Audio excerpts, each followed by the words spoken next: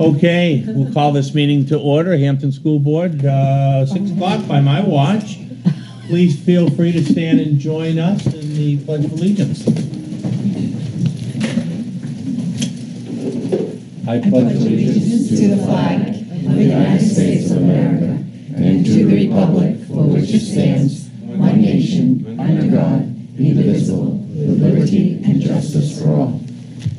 Thank you.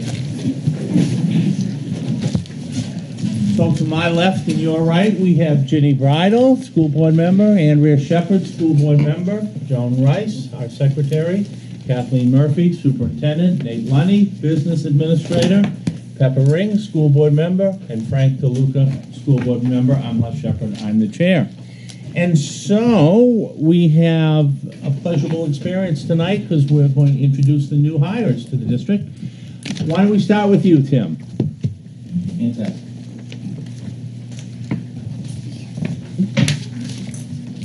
I'd like to have my three new hires come on up here and stand next to me so I don't have to do this alone. Center School was very blessed to have some openings this year, and we had some fine candidates join us at, uh, at the school. I'd like to introduce, uh, starting in the middle, Amanda Young. Uh, Amanda has been with Center School since 2010 in a paraprofessional uh, um, position special ed, and then uh, last five years in the um, kindergarten area as a paraprofessional. She did a wonderful long-term sub for me a few back years back um, in kindergarten, so she's demonstrated um, great ability, and we were so excited when we finally had a kindergarten opening because they don't leave at center school. um, so we were so excited that when we had a kindergarten opening, um, the kindergarten team told me I had to hire Amanda. So uh, we're thrilled to have Amanda with us. Um, Amanda is from uh, from the area, Seabrook, and uh, she uh, got her bachelor's from Rivier College with some uh, early childhood, early childhood. Is that Mm-hmm. correct? And general special, and general ed, Yep, general special ed as well. So she is certified uh, PK through three. So we're excited to have her here, and uh, that's Amanda. Behind me here is Amanda, another Amanda, Amanda Jagan Tenful. And Amanda is uh, coming with us with some experience, which was which was great.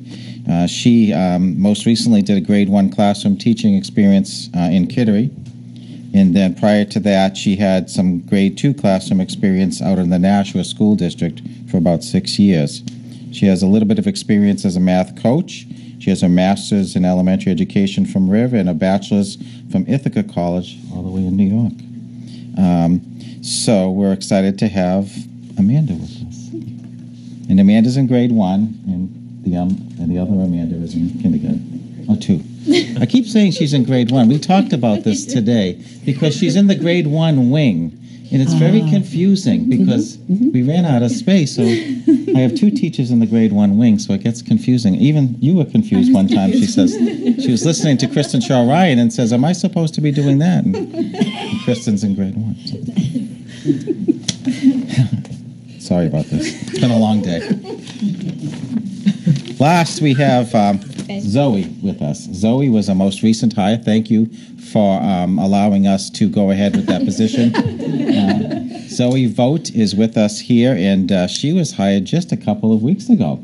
And uh, she had a monumental task of going into the school, and we got we got all the equipment together and all the materials together, and uh, we all was a giant team. I think you agree with us, and we set up her classroom, and we got well, you set it up, but I put the stuff in there, and we got her all squared away, and she's rocking and rolling, and she's doing great. Zoe comes to us, believe it or not, from the same school as Amanda. They came from the the same school in um, Kittery.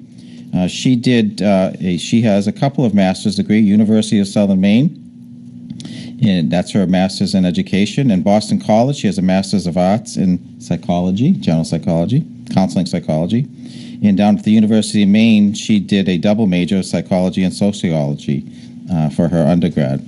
Uh, she's a certified teacher in Maine, New Hampshire, and Massachusetts. And we're thrilled to have Zoe Vogt with us tonight. So we're off and running. We're, all of our certified staff is up and moving, so we're very excited. And I can't thank you enough for your continued support uh, for the students at center school. Any questions for our new staff? Looks like Yes, How does she pronounce, how do you pronounce your last name again? Jay Contentful. Do you, want, uh, Here do you want me to show you how I do it with the kids? You asked. okay. We make a J. Yes. So J. We don't know to say for again, so we say again, and then ten full. So J. Okay, thanks. I'm looking at that going, how do you pronounce that? Like that font, Sarah? Amanda, it's been a couple of years since you've been in my classroom. Yeah. yeah. Good to see you again.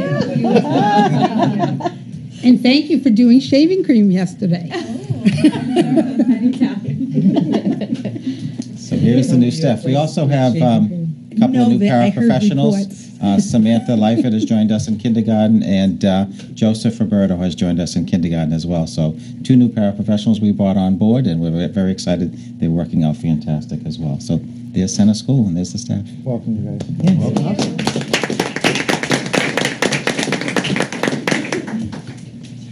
Lois, are you next? Yes.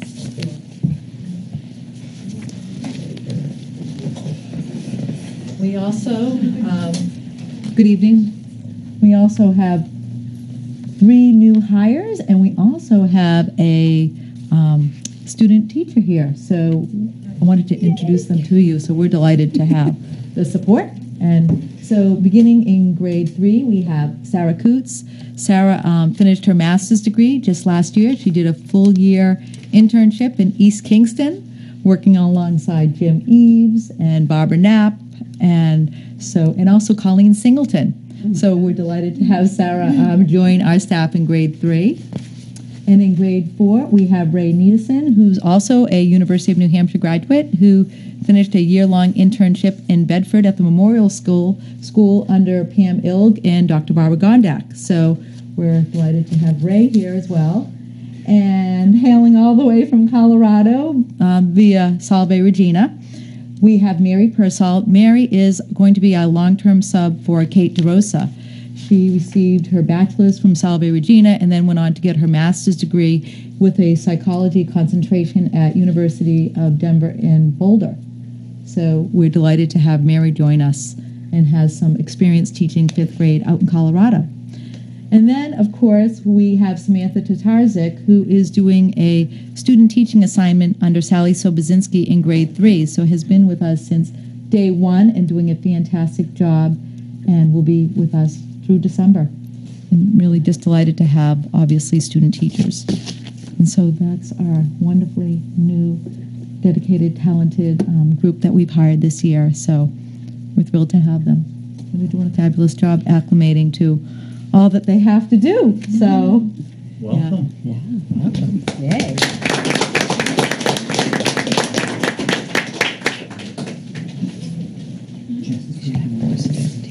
Dave? Middle school teachers are shy. They all want to stay back there. Good evening. We actually have seven new hires at Hampton Academy. Um, several retirements um, and uh, transfer and uh, a new position. Uh, Jessica's going to take uh, uh, the special ed people who were brought to us, but and I have two that aren't here tonight. Um, Drew Zaliga, who's in seventh grade, he had a death in his family, so he's at a wake tonight. And uh, Jacqueline Silvani, who is our new um, part-time reading specialist, had a conflict tonight, so she couldn't be here. So let me let me start with this gentleman next to us, who you might recognize. Uh, this is Caleb Michael Shaw. Caleb is uh, uh, comes to us from the University of New Hampshire, where he has his undergraduate and graduate degree, um, and in his graduate degree is um, is in general secondary science. He is covering for Allie Muncie, who's on a, um, a year long maternity leave. Uh, Caleb's a graduate of Hampton Academy, uh, Marston School, and Center School. Oh, my goodness. And uh, he graduated with his master's in 2013, and he's been working for Nature's Classroom, which is an outdoor environmental experiential science uh, uh, company. And uh, we're pleased to have him at Hampton Academy, back at Hampton Academy. So welcome back, Caleb. Uh, next to uh, next to Caleb is Marissa Farley. Marissa is our new sixth grade math teacher down on the Sixth Academy, and uh, she uh, has a bachelor's degree from the University of New Hampshire. Um, she did her internship at uh, the cooperative school in Stratham, Um, she's done a, a long term in Greenland, but this is her first classroom, and uh, um, it, her energy in her classroom over the last uh, eight days is any indication of how the year's going to go. Um, we're looking forward to great things. So, welcome, Marissa. Next, Marissa is um, Maggie Doucette, Margaret Doucette. Maggie? Maggie. Um, Maggie comes to us from Spaulding High School, um, where, um, where she uh, taught a variety of courses in history. She, uh, she takes over in the 7 8 team for um, Linda Trofita, who retired last year. Maggie has a wealth of experience in PBIS, mentoring, and, and also served as, as a uh, as a representative for uh, the classes there. She uh, was very integral at, at, Spaulding High School, and, and I've gotten two phone calls saying, "How dare you take Maggie?" So um, she uh, she also a graduate, uh, an undergraduate from uh, the University of New Hampshire, and. Um, and uh, she's fitting in very nicely up in the 7 8. So, welcome, Maggie. The, the woman at the very end there, I, I warned, I asked her to introduce herself, but she's not quite ready to do that. But um, this is Anna DeVilder. Anna is our new assistant principal at Hampton Academy. She uh, joined Hampton Academy in mid-July, and we had some a little bit of time to to get together. Uh, Anna is a recent graduate of Plymouth State College, the uh, graduate program in uh, in administration, and uh, she taught uh, mathematics for eight years, and most recently at Merrimack Valley Middle School. So Anna and I um, are getting to know each other. Um, we're becoming a team, and we, uh, we look forward to great things as well. Can I bring those other two back in, in October? Would that be okay? Sure. Okay. Thanks, guys. Welcome.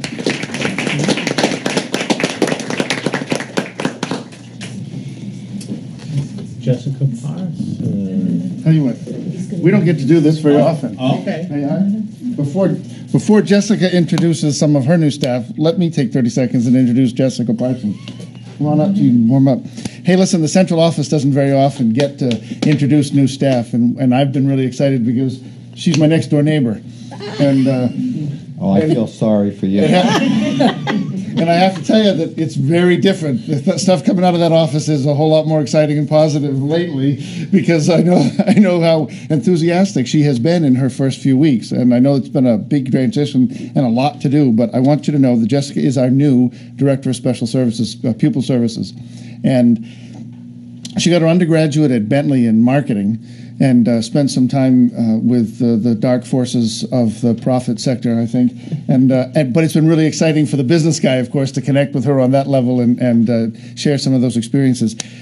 She she grabbed herself in the midst of all kinds of work going on, uh, a master's of education in instructional technology, topped that off with another master's in education in special ed and elementary education, and has completed her coursework in her doctorate of education at Northeastern University. And so we will we'll, we'll, we'll involve ourselves as much as possible in all of that great dissertation stuff that's coming. Um, most recently, uh, Jessica was a special education coordinator in the schools of Middleton, Massachusetts, following a decade of classroom and uh, special ed leadership. Uh, she lives right here in Hampton, and so I know she's loving the commute. Uh, and I'm sure her two little ones are as well. Uh, soon enough, they'll be part of uh, Mr. Landon's team at Center. Um, but we are just so excited to have Jessica as our new director of pupil services. So I, am glad to have had the chance to welcome her. I'm even more excited to be working on all of the stuff that we've been working on in the office. So welcome. Yeah.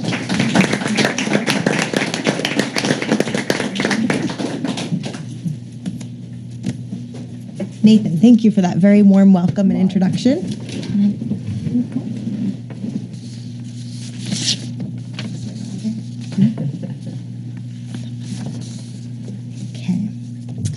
So I'm first going to start off with um, Tracy Van Brunt. And Tracy comes to us, she's right here, she comes to us from Timberlane High School, where she was a department coordinator and a Spanish uh, teacher. Tracy um, got her bachelor's from the University of North Carolina with a major in uh, Spanish and a concentration in education, and she has a master's from Stony Brook in Spanish. Um, she's a certified Spanish and ESOL teacher, um, and she is going to be she has joined us as an ESOL teacher at Marston. Um, Tracy also has coached several dance teams, and she also um, has spent the past is it five years for. Uh, Girls on the Run. Um, this is my second season doing Oh, it. second season doing Girls on the Run at um, at Marston. So she's already knows some of the students as she's transitioned into her new role. So we are very excited to have Tracy on board at Marston. So welcome, Tracy. Thank you. You're welcome. All right. Next we have Charles Angren, and um, we like to call Charles Chuck. Um, and Chuck comes to us from. Uh, Framingham Public Schools, where he was a special education teacher and a case manager. Uh, Chuck has a bachelor's in sociology and a master's in special education from Southern New Hampshire University. He is a certified special education teacher in grades K through 12, so a very wide range. Um, and an interesting fact about, fact about Chuck is during his master's, um, he did his student teaching uh, for Tim at, at the center school. So he already has some experience here in the Hampton School District. Um, previous to that, Chuck had a background in um, clinical coordination and a residential instructor. So we're excited to have Chuck a part of the academy team where he will be a case manager um, at the academy. Welcome, Chuck. And last but not least, we have Jacqueline Reynolds here. Um, Jacqueline comes from uh, comes to us from Londonderry Public Schools, where she was a case manager and special education teacher. Jackie has a bachelor's in history from Keene State College and a master's in special education from Southern Connecticut State University. Um, she is a certified special education teacher, um, and she'll also be working at it as a case manager at the academy. Um, she has experience um, in in-home therapy with children with autism. Um, so we're very excited to have her as part of the academy so that she can bring some of that experience to us. So Jackie, welcome, and we're thrilled to have you aboard.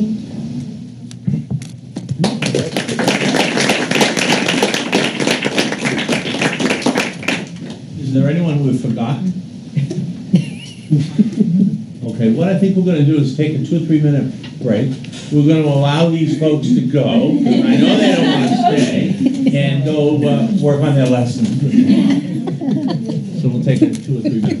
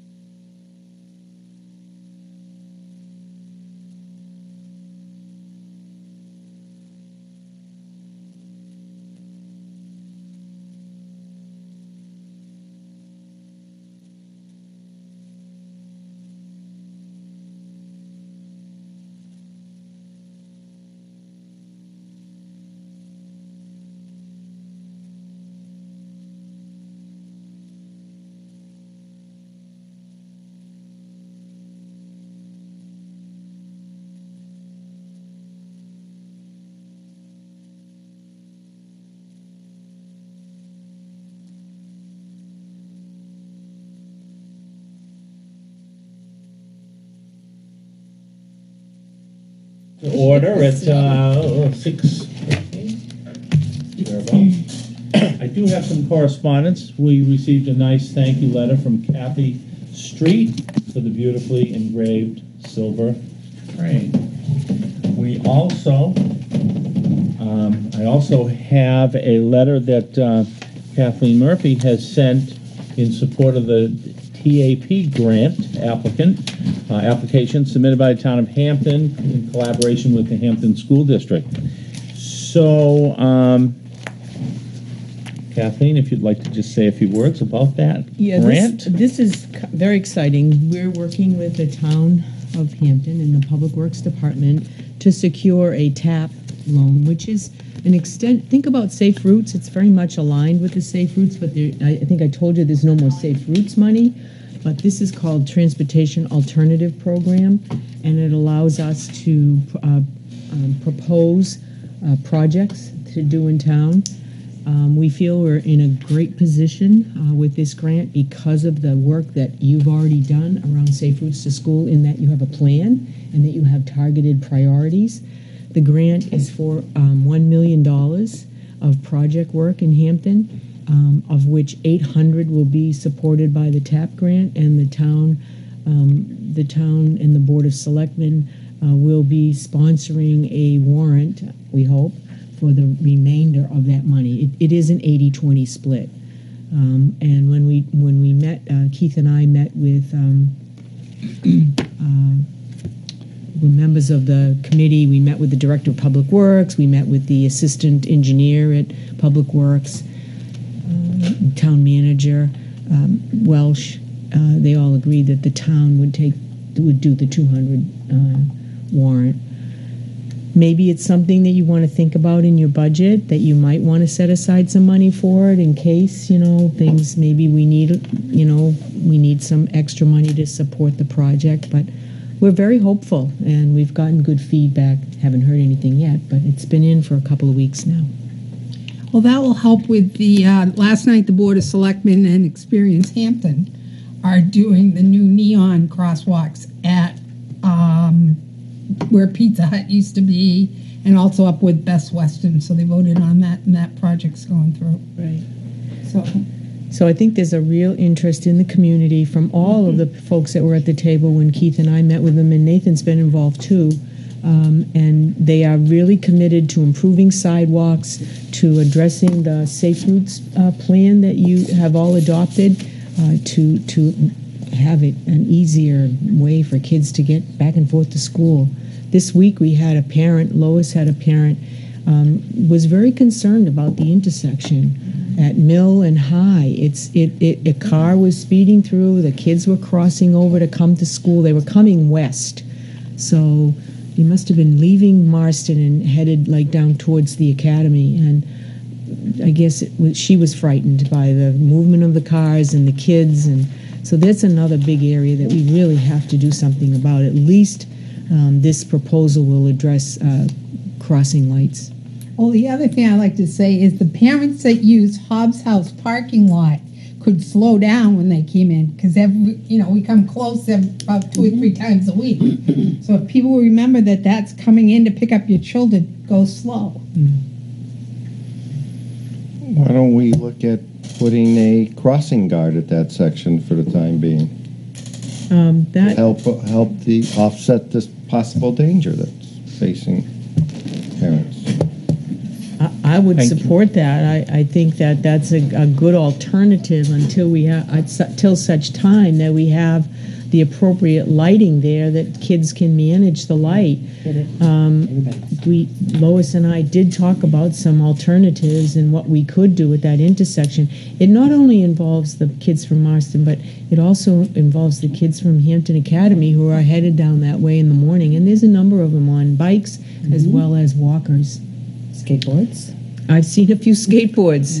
So, I, I, let me make the suggestion from a risk management perspective that that's that's not a that's not a simple intersection, and it might be appropriate to talk to the police department first and get some guidance on whether they want somebody who isn't in uniform and isn't appropriately. Tra- I mean, we can get some crossing guard training through Primex, our insurance provider, but. It's different when you're. Mm-hmm. It's different when you flag traffic with a stop sign on a straightaway and you have just two, but you have a light changing light and times, and you have traffic not only merging through but turning in multiple directions, uh, you may find the PD say that that's either a police officer or not. So why don't we get some guidance there before we? If they had control of the light, it would Right. be better. You know, Yeah. then you you that would Then- really solidify the safety Why don't there. we How about a just, school resource officer? What's he why don't we, doing at why- that time? I was gonna suggest, why don't we hire a part, you know, if Yeah. it's an hour in the morning. Right. Exactly. And Not a that's basically time. what we're looking at. So, Perhaps we could make a motion, someone could make a motion um, that we have these folks investigate all options and talk back to to the, you. and come back to us with a recommendation ASAP. Yep. for the next meeting. well, Yes, uh, I one- would like. It's unsafe now, so could I we? would like to see us move very quickly on that and probably do it for October 1st. That gives us a two-week window, and we make a move for that because as winter is approaching, you know, it, we're just going to push this and kick this I'll can down. second that if you want to make that I'll make the motion that we look at doing this. Okay. Sorry, we have a motion, Frank, I missed it. Yeah, I would like to make a motion Yeah. uh, that Kathleen and Nate uh, look at options to, im- you know, to implement a program for safer crossing effective October 1st. Whether we look at hiring a policeman or putting a resource officer there, or whatever options they can come up with. Okay. I'll And there second was a second on that. Discussion. Pepper? Sounds good to me. We need something there. Do we Andrea? need- Do we need to add to the motion that we give them the authority to implement that? Or are we going to have a separate meeting before October 1st? I think we should have a separate meeting before October 1st. They can bring us, you know, they're all, their proposals and we make the decision then. Well, Go ahead. Well, if you authorize us to move forward with it, we're capable of bringing, I mean, it, you've, you've given us direction. You want s- the, the most appropriate personnel there. I, I'm not sure you need to meet again. We'll fine. report out in October, and if Right, there's any well- adjustments you want us to make, we can do that Right. after the fact. I, I think if I talk to Chief tomorrow and he says we can do this and this, I'm gonna have it there on the ne- the Yeah. next possible day. So if, if And it I'll means a amend that police motion to officer give will them do full that, and if it authority. means, if we can do a crossing guard and it means that, then I'll do whatever the direction I get from the police. It police. might be more advantageous to look at a uniform officer or a resource officer because. I, I don't think you need to amend it. I think, Okay. I think if we're Your moving motion forward, said we're, that. we're moving That's forward. Any further discussion? No. Ready for the question? Yes. Okay, all those in favor? Okay. Thank you, folks. And hopefully we'll have a long-term solution at some point with the grant. Thank you. School board member updates. Ginny, anything? No. Andrea? Uh, no, Kathleen and I spent some time going over some more policies, and there's a few that are here. And I asked Nate if he'd look over the ones in Section D of the policy book on fiscal um, responsibility, um, and then bring back recommendations. When he can. I know It's we're gonna pretty be. big section, though. I know we're going to be talking about policy later, but I emailed all of you a, um, an email that I got from the New Hampshire School Boards Association. They have the, the new 2016 policies, and I included in the email is a username and a password for you to use if you want to log on and look at them. There's probably quite a few, I went on it today, quite a few. and so we have a lot of work to do. Um, Frank? Pepper? Um, I just wanted to, I talked to Diana today, and there's an ice cream social at the academy. Um, it's called a volunteer fair, and they're looking for organizations that need volunteers. And so you come and get an ice cream, and if you want to sign up for someone that wants a volunteer. Um, and the other thing is, um, if it's raining, it'll be in the cafeteria.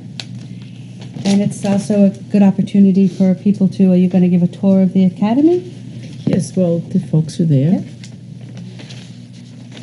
We'll tour the academy and see what happens. When is that, Pepper? When is it? It is on Thursday, the 22nd, 3:30 to 6:30. Okay, any other board member updates? I will remind the board that next Tuesday, we're due at the budget committee for our annual update on the school board and what we're doing and what we hope to do. Okay. So, Seven o'clock here. Uh, I guess we'll move to principals' reports. We have the principal, principals' reports in our packets. Um, Tim, maybe we can start with you. Do- Is there anything you wanted to highlight, or do the, does the Just a board have couple any of things. I- questions? First of all, I want to, again, thank you for, um, for your support. We had a great, smooth opening. I highlighted that in, in my report. I would be remiss if I didn't uh, bring to your attention uh, the building conditions, how wonderful they are. I just, I I don't know if they get, always get the credit they deserve, so I wanted to make sure that I highlighted that. The custodians, uh, we had summer programming going on, as you know, with boot camp and the summer special ed program that was going there, on there. But they worked tremendously hard to get that building up in shape. It's an it's an old building, but boy, does it shine! And I want to make sure that I credit the custodians for all the hard work that they did, and uh, uh, I wanted to um, highlight that this evening.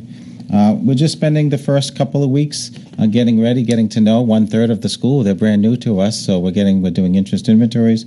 We're starting our formative assessments, beginning of the year assessments, and we're getting rolling on that. And we'll start using that data to uh, make determinations of how to address any concerns that would pop up. Uh, any questions that you'd like to ask me about the beginning of the school year at Center School or the report? Uh, I just have one question Absolutely. Uh, I see enrollment in kindergarten went dramatically up. Yep, we're at 110 as we sit today. It's 110 now. That's As we what I was sit today. ask. Yep. Yep, we're doing very well. We're, we're almost 16 in every classroom, 16 and 15. That's nice. Yeah, we're doing very well. Yeah. Thank you. Very nice.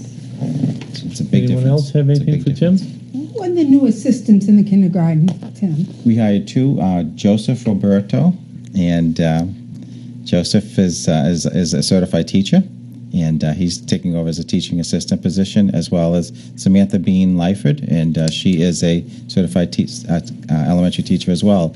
So we got some quality folks in that kindergarten room, so we're expecting big things out of that. Yeah. Well, all these aides are wonderful, but it is so nice for the little kids to have a male role model. It absolutely well. is. And I Absolutely think that's great. Thank so you. good luck in kindergarten. Awesome. Thank you so much. I tease him. He's from New York, but I, I still hire him. Thank you so much. Have a great night, everyone. Thank you, Tim. Thank you. Yes. Lois? Again, we have your report. If there's anything you want to highlight particularly? Just I, I would um, echo Tim's sentiments. I think we've had a great start to the year. We have, um, you know, the building looks beautiful, and you know, in spite of all the work that was been done over the summer um, with the roof and with refreshing paint, and um, I think Keith Lassard and his staff do an excellent job, and we're, we're we couldn't be happier with how the building looks. So, um, kudos to Keith and his staff. Um, you know, we're, we're off and rolling. We had our first school-wide morning meeting on Monday. We um, invited in our officer, Matt Robinson, who is just a tremendous asset to our district. He's has a nice presence in our school. He relates well to the students. He's appropriate. He's friendly. You call, he's there.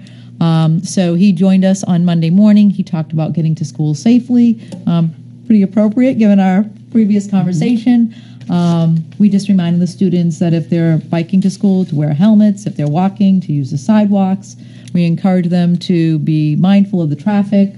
Today was our voter day. Um, overall, you know, low turnout. Um, I think it went off very smoothly. Um, by this time, we know what we're doing. First student is great. All hands on deck. We do the drop off at Hobbs Road. Um, it does seem to work well. So I'd say so far so good. Good. Any questions, Pepper? No, no, set. Sorry. Ginny? No. I will. It's all right. Andrea? Frank? I have none. Thank you, Lord. You're welcome. Dave? Again, we, we, we have your Hard to follow report. Tim and Tim and Lois. It because is, they're- it is. But I, I'll echo both their sentiments. Uh, we had a great start of the school year. Um, we, uh, we're actually going to do our first building-wide assembly this Friday. Um, it's it's uh, part of our PBIS initiative kickoff. It's actually called Fintastic Friday for the Sharks. Um, I understand there's uh, uh, some skits, a dance routine, and uh, and uh, just a lot of positive climate going on. So we're going to do that this Friday morning at eight o'clock. You're, you're welcome to join us if you'd like. Any questions for Dave, Frank? None. Pepper? Looks Andrea? good. Ginny? No, I have none. Thank you. Thank you. you very much. the largest enrollment. Jessica? Back again. So it's been a great start to the school year for me um, and for our students. Uh, I started off by trying to get into every building at the start of the school year, um, um, meeting staff, trying to meet the students. Um, and so, um, in addition to that, I've just had an open door policy where I've invited not only the staff in, but I've also invited parents in to come and introduce themselves um, and, and help me get to know them, their family as well as their students. And that's Great. really, And again, welcome. thank you very Any much. questions, Pepper? Ginny? Jess, are you going to do a parent, the parent forums again? Long day. year? The parent forums where learning things for parents, like sponsoring a night where they could learn some things about special ed. Yeah, absolutely. And so um, I had put this in, in my um, in, in my letter to, to Kathleen, but my goal is really to establish um, a more um, substantial parent group within the community for for parents that have students with special needs or that want to learn about this, the the IEP um, and referral process. So um, my goal is to start um, providing. Um, I would hope to start bi-monthly parent meetings, but yes, so that that is my goal um, and hopefully move to monthly meetings and start what, what in Massachusetts, where I, where I came from, we had what's called a CPAC, which is just a meeting. Um, it was a group of parents, um, specifically with students with special needs, um, and they met monthly. Um, and really, it was parent driven, and so then they would um, let the director know kind of what they were looking for as far as speakers to come in or types of types of um, support groups they would like to have brought in. And so it was parent driven. So um, that was a, n- a nice way to have them become more a part of the, the, the process. Cool. Yeah. Nice. Pepper? Welcome aboard. Thank you very A much. breath of fresh air. Yeah, all, y'all your energy. Have a wonderful year. Thank you. Right? Anything? Okay, thank you. Thank you.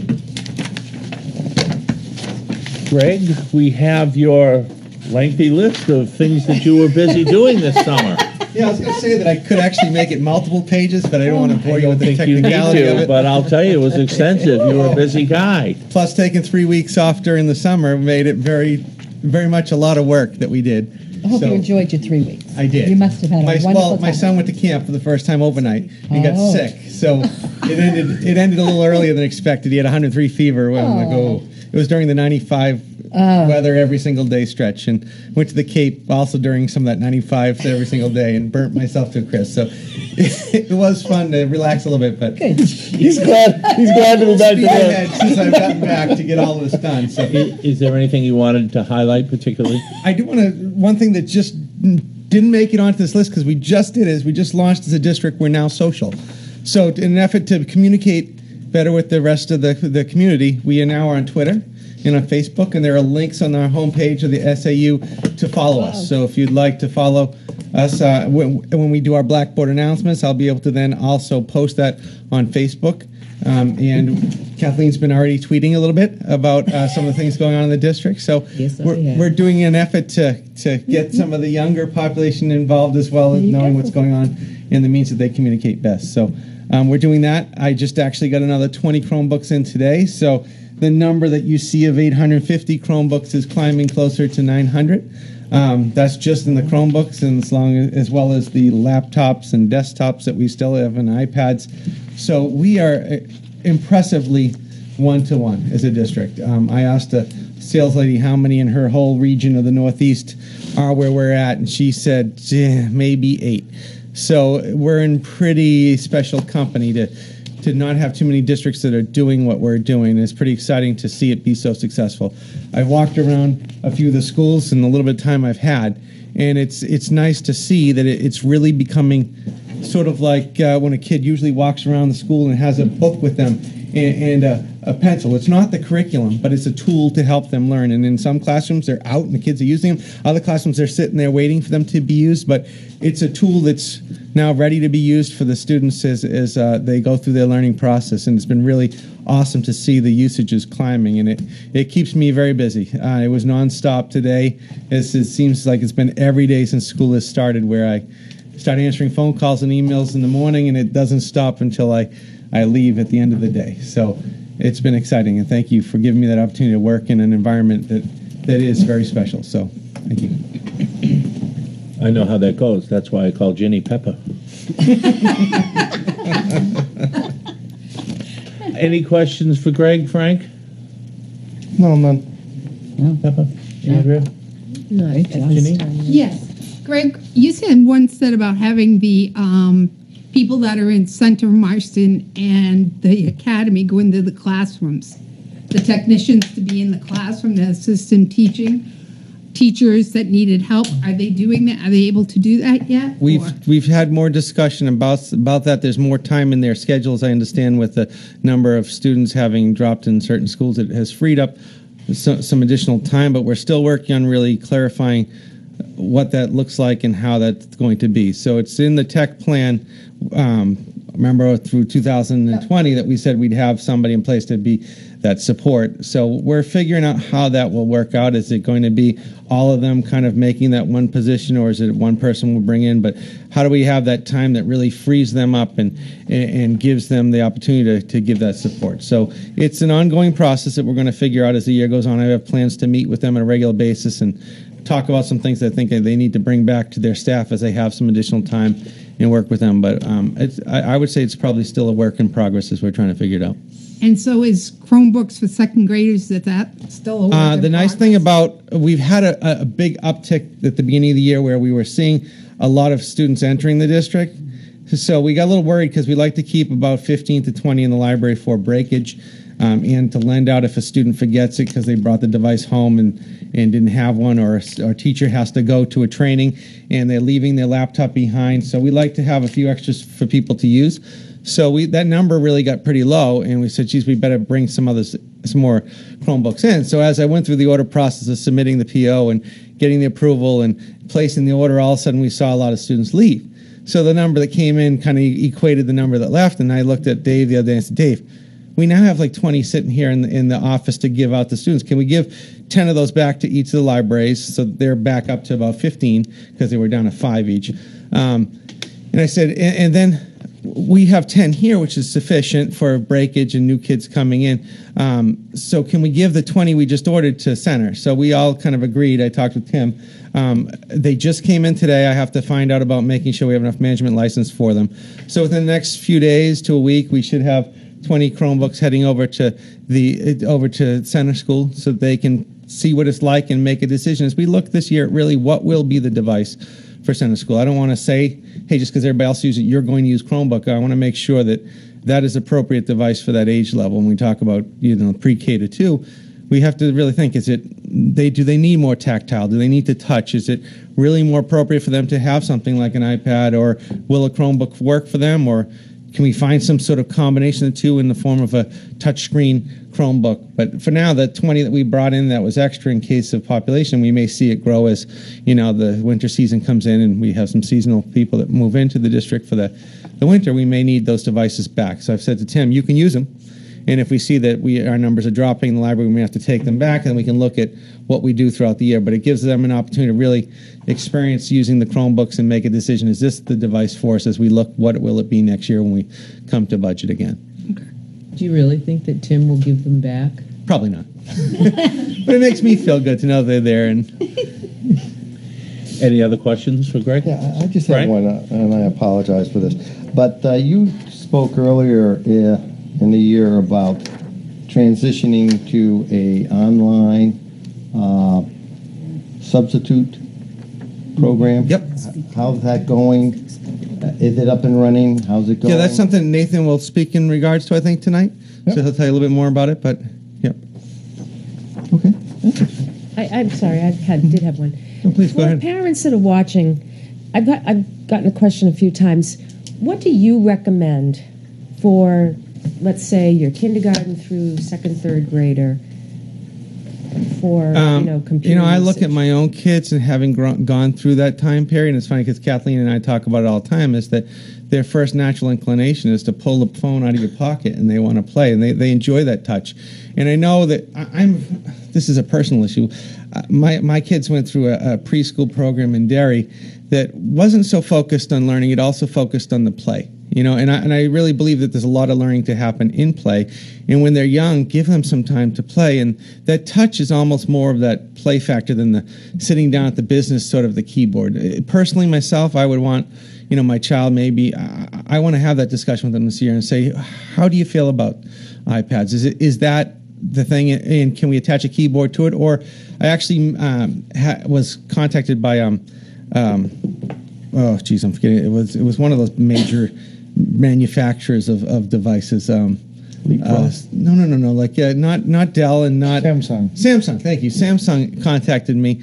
I, I to name blanks all the time. And they asked me to to give input in what the next chromebook would look like. So we had a nice discussion for a while where i said i would love it to be that it detaches like a tablet and can attach because the technology is there with a, a, a, de- a laptop why can't you have it with a chromebook where the it would detach and I can at the younger ages give the kids a tablet it would be an Android tablet as opposed to a a uh, Mac or you know an iPad. But you could then, when it's the kid is ready, attach it to the keyboard. Now it's like the form factor that they're using come grade three to to eight. So as the technology changes this year, you're going to probably see a lot of that change.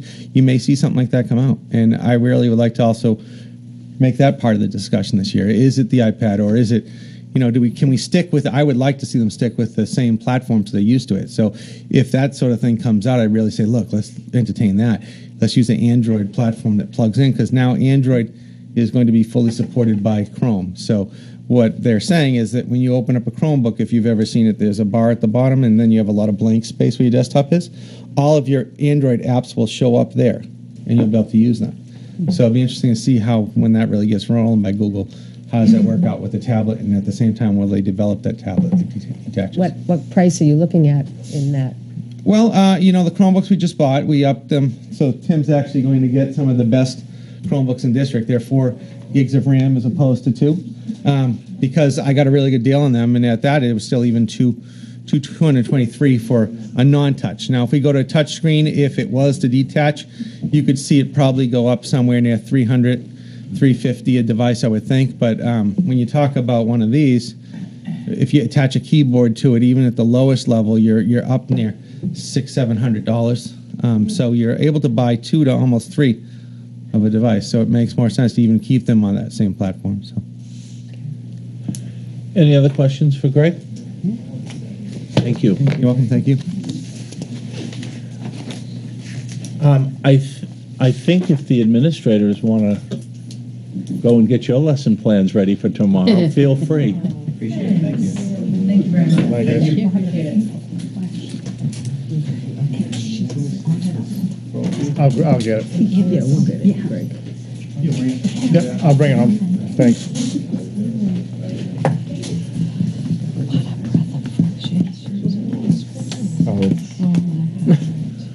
Okay. Uh, Next is the superintendent's report. Kathleen, we have your report. So we have standing room only, so I'll make it brief. Um, In front of you, I have, I put a clipboard. Um, That was a little gift that we gave all the staff uh, at opening. And they love it, you know, because they attach notices and their class lists. I, as I walked around the building, I noticed a lot of them using it, so that was nice. It- You know, we're just branding who we are and um, and uh, so I wanted to share that with you tonight. Also, uh, I put the new trifold attached to it. That's the information pamphlet that we update uh, every year, and we use that. And we use that with parents. We use that with real estate agents. We use that with people who come in, uh, inquiring, uh, inquiring about our district. Uh, new staff, people are.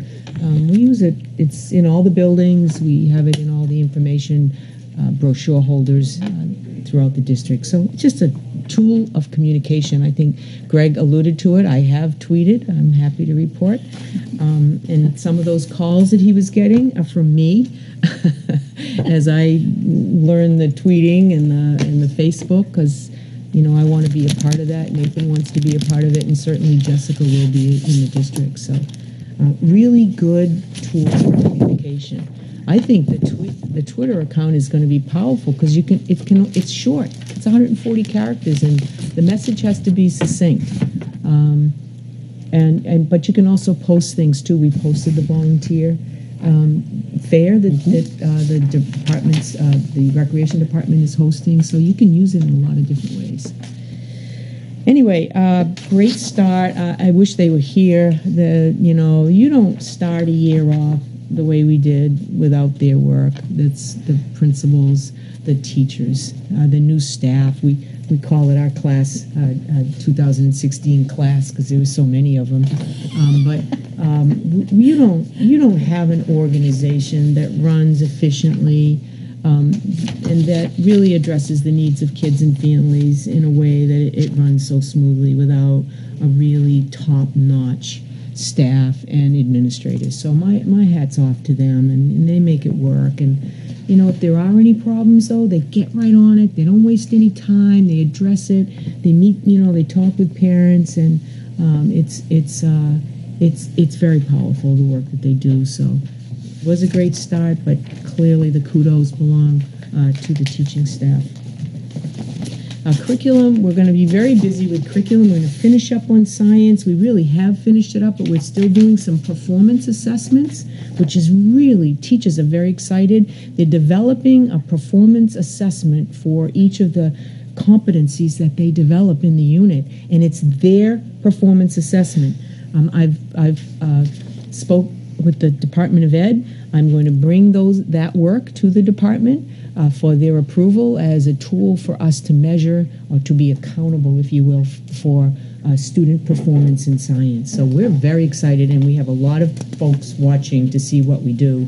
Um, and uh, again, our team of teachers with Joyce, it's been awesome.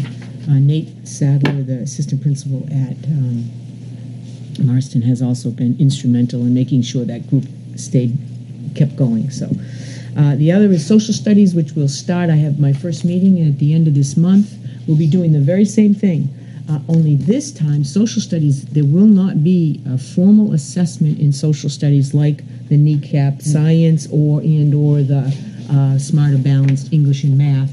We will be allowed, we will be given local control to develop our own performance assessments. So again, for each competency in the areas of civics and, and uh, geography and history and uh, those kinds of concepts, we'll be able to develop performance assessments. I, I think the teachers will be very pleased about that. Um, Smarter Balance results, uh, the preliminary results, we've reviewed the data. Um, we've scrubbed it because sometimes you get students mixed up in your data. You want to make sure that they're your students, that they were with you, that they tested with you. So the data has been scrubbed. And so we're ready to print those uh, reports out and get them out to the parents at the end of the month. I'm meeting with the principals tomorrow to go make sure everything's all set. Uh, and um, I will report to you the results of the Smarter Balance uh, spring scores next meeting in October. Okay. Uh, professional development, I put some things in for you to look at, some of the work that we've been doing uh, with uh, groups uh, all through the summer. I don't really, it's pretty self explanatory. We talked about the TAP grant. I don't know. I think oh, we did get. Uh, you know, we didn't men- mention this about um, Jessica Parsons, our new director for pupil services. She hopped. She cut right on it. She um, she worked and has submitted her IDEA grant and her preschool grant. She submitted her Title One grant, and so um, uh, I, I'm very pleased. She also got word back that um, the fourth year of the UDL grant, which was fifteen thousand dollars, which was originally started by Sarah, we wanted to continue that project, and so Jessica wrote another grant, and we were awarded another fifteen thousand. So she got right on it. I was very pleased. That that was a big worry because it, it is complex. It's not those grants aren't. Sometimes they're not the easiest things, and it's not just writing up a grant. You've got to support it with a lot of information, and so she's done a great job with that. Um, so we're well on our way for that. Um, Nathan and I had fun. We we presented at a workshop um, that was given by, was it Prime? Uh, no, Health School- Trust. Uh, Health School Administrators. Yeah, that the school administrators sponsored Oh, it. Health Health Trust Trust asked us to on, pre- uh, present, but they were very interested in the model around wellness that our district has. The wellness, not only that we, the things that we do with the kids, but the wellness project that we have with our staff and the effort that we make to make wellness an important part of their working here in in in Hampton. Uh, so uh, Nathan did a piece on educating. It was educate, empower, and engage. Right. And not necessarily in that order. They they they they shared the tools and resources that are available at Health Trust, and then we talked about some of the the steps we've taken.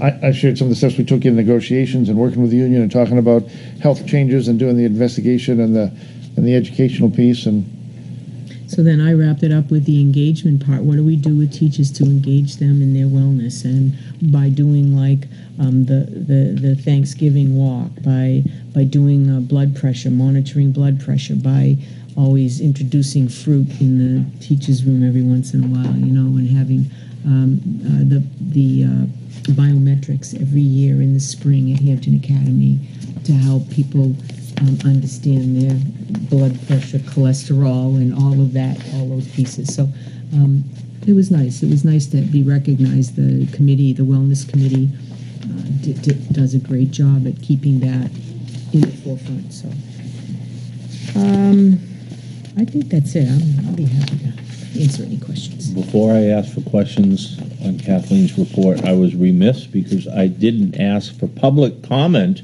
on the agenda items, and I know you fellas are getting out of here pretty quick. Did you have any questions? No, you're all set? Okay, just checking. I didn't want you to feel left out. Any questions on Kathleen's report? Frank? No, none. No. Andrew? Um, it's not in here, and I probably should have asked Dave, but can you explain what the Think committee is at Hampton Academy? It's teachers helping in neighborhood something, neighborhood kids. It's a Hampton Academy project, and I'm not aware of it, so I'll have Dave.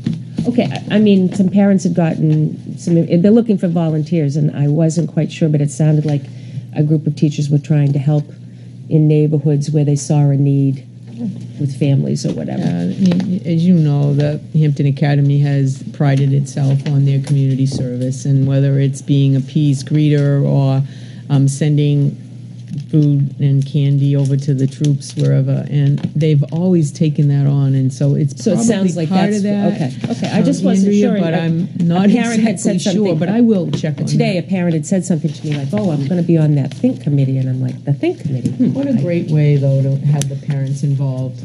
The oh no, it was you awesome. I just didn't know anything about it, and I was like, "Hmm, I might have to find out." No, I'll check with Dave. Okay, thank you. I had a question just because it's in the, in the report about the buses. What year are we in the contract year with the buses? I'm not trying to put you on this No, I want to say we budgeted for, this was, I think this is year three. of a three-year contract? Five. Of five. Yeah. Um, That's it. That's all I wanted to know. I've been here, I knew we'd be talking about it during budget. I've been here five, this is fifth, sixth year. I know, this is, we did a new contract, I I believe this is this year two of the new one. Is this year two, maybe? Well, you'll update us during Yeah, I will. I'll make sure I know, because that's right, It got I- me thinking about something, but that's okay. Uh, uh, that went really well too at the opening. I mean, uh, we checked in with Melissa, and it just it went very very smoothly. I think I sent you a note. We had one one issue that was taken care of, and um, you know I remind parents that the little the little ones we try to get as close to their door as we can. Those kindergarten kids. But middle school kids could walk up to a mile to the bus stop. Now, we don't do that necessarily because in some cases they could be isolated and that's that can be troublesome. And there's some roads that you don't want them walking. And no But- sidewalks. Yeah, and there's no sidewalks. So we really do uh, try to accommodate with as many stops as we can. But the law does allow for a mile from middle school, which is interesting. Have you heard from Head Start yet? Um, they are, have been in the building or working. Uh, the team has been meeting. I actually saw them last week when I did a visit at, uh, at Center on Friday. They're getting ready to open. Um, they, I think they're, they have a, a, a good number of students. Yeah, they'll, they'll fill that program uh, with Hampton students. And then we'll keep our eyes open, our ears and eyes opened as the, you know, the population changes a little bit and as winter approaches. Any other questions? We're in the third year. So, sixteen, seventeen. Is it the third year? Yeah. Yeah. Time flies. Frank? I, I just had, you know, I just had a question of, uh, are we, uh, is Hampton Academy going to be sponsoring a road race? I haven't heard. I hope they do because that was a huge success last year. Um, and uh, um, I haven't heard, but I thought it was going to be an annual event. Well, I, I do know you Why, do you wanna- participated. I and did, somebody- I and did somebody participate. Snuck out of it. No, I that's loved okay. it. I loved it. I I you didn't have have heart to stay issues, but home and that's cook. I let I let uh, other people cook. See, so- that's where I heard this because I happen to have on my winning T-shirt from that. And um, did you win a prize? Did you wear a I prize? I did. All right. My age group. Hey, there you go. I was first. anyway, um, I wasn't in that age group. I think I was in the one the the one below you. That was. oh really? okay. I'm, I'm pretty sure. Well, I'm glad you weren't that since I won it. But anyway, I happened to have that on, and a parent said, "Oh."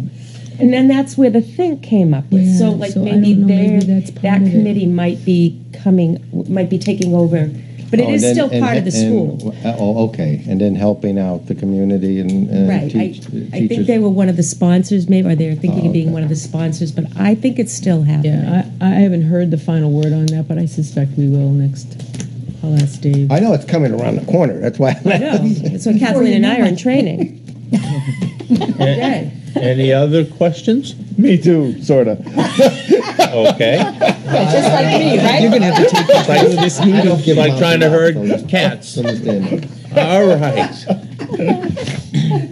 Class size data at Hampton Academy. So I um, uh, included, because you asked for this the last time, this is the latest as of the 31st in the enrollment in every single class in the building, including Unified Arts, okay? And it's, not. it's, No, you I know. got it. I was just uh, skipped a few things. Sixth grade is at, you know, is fine. Um, I, I think that if I were to, uh, seventh grade was fine.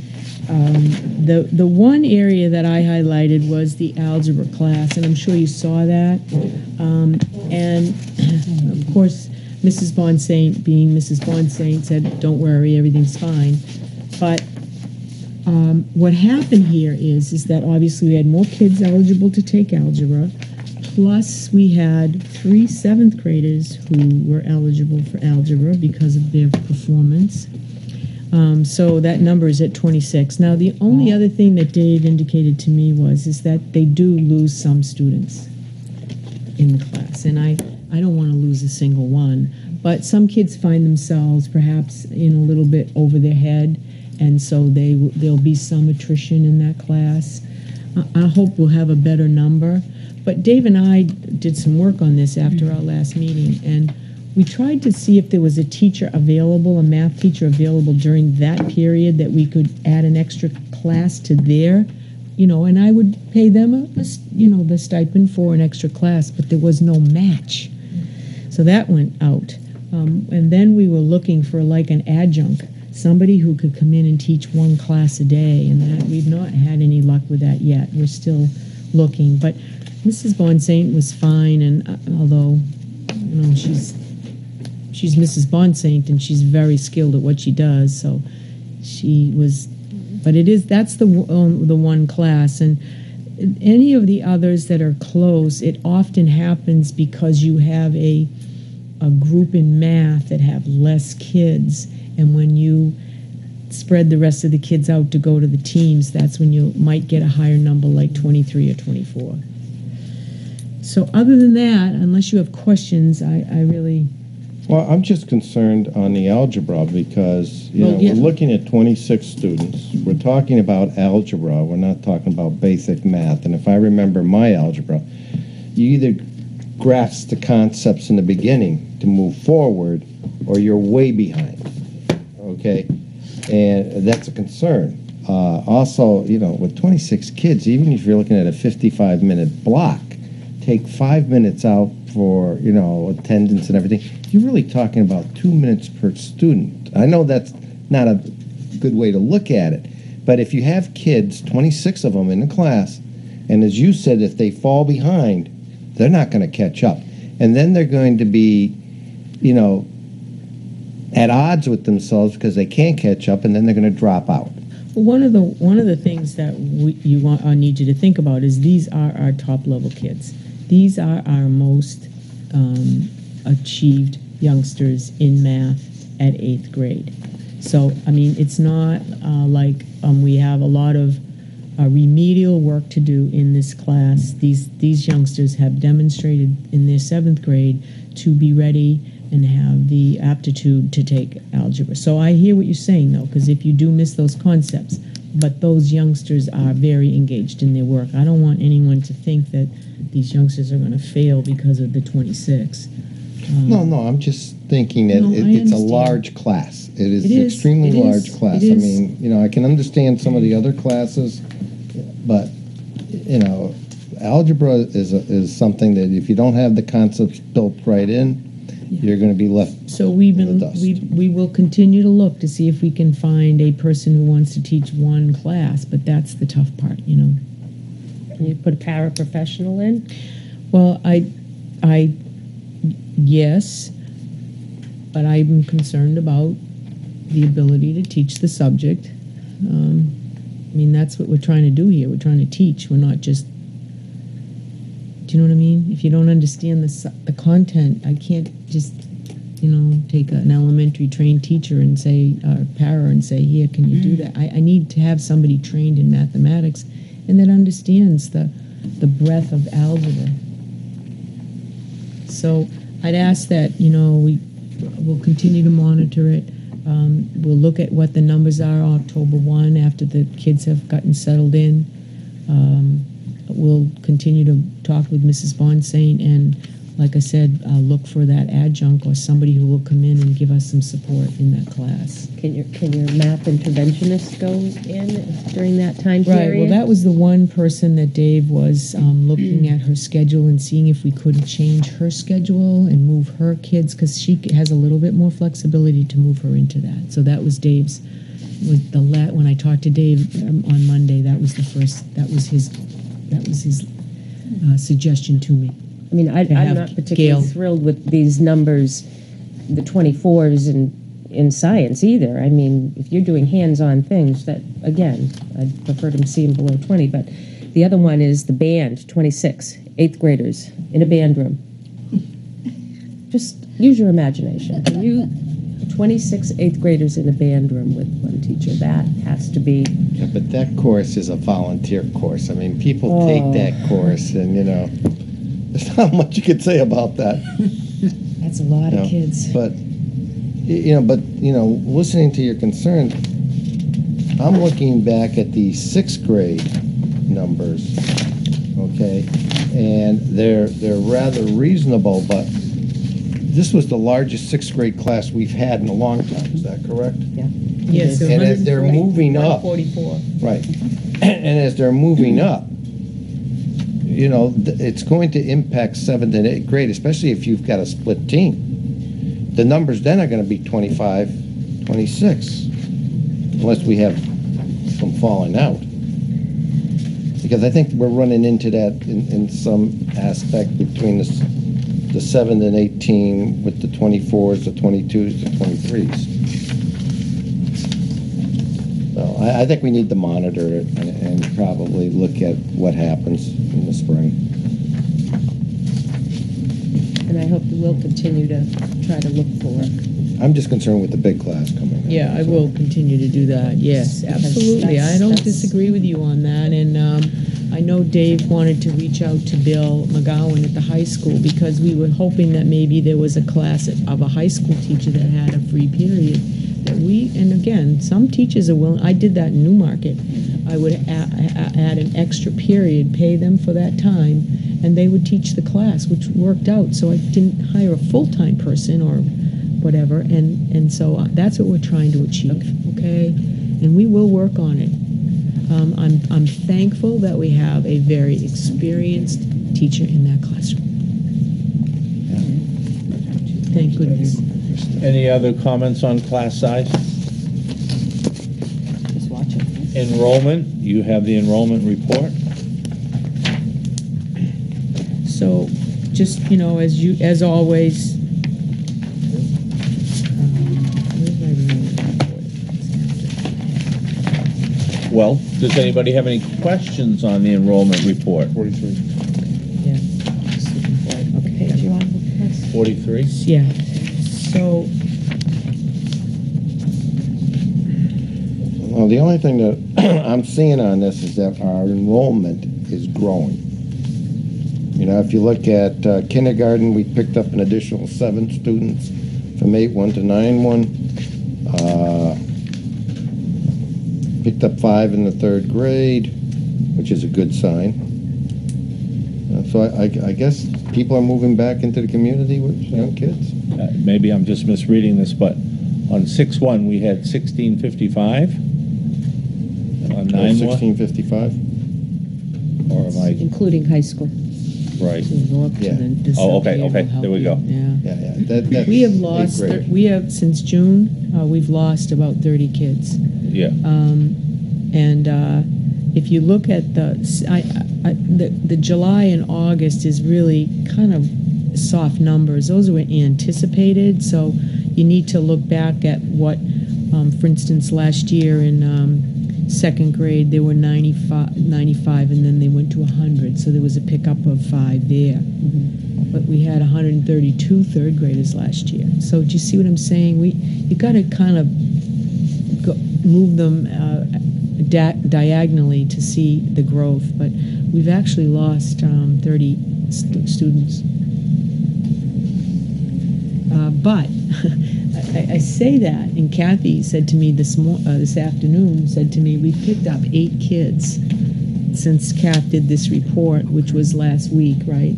And actually, she did it early because she was away. So we we probably have another eight kids, probably down to a difference of a delta of about twenty.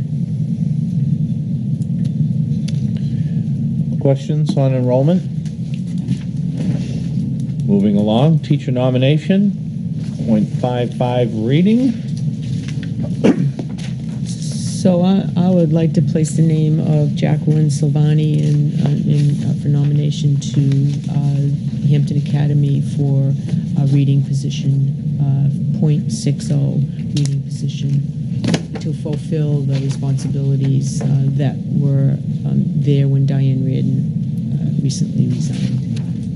Any questions or discussion?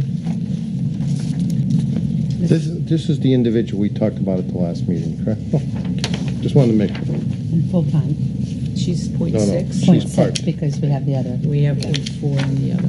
And so, um, come the fall, I mean, come the fall, come next spring, next late winter, we'll be looking at that position because obviously we, we want to have a full-time position. Well, I noticed that she also has math specialty in her background.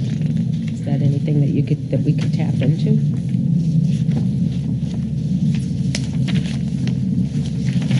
One math specialist? Just jumped out at me if we're looking for some help in math.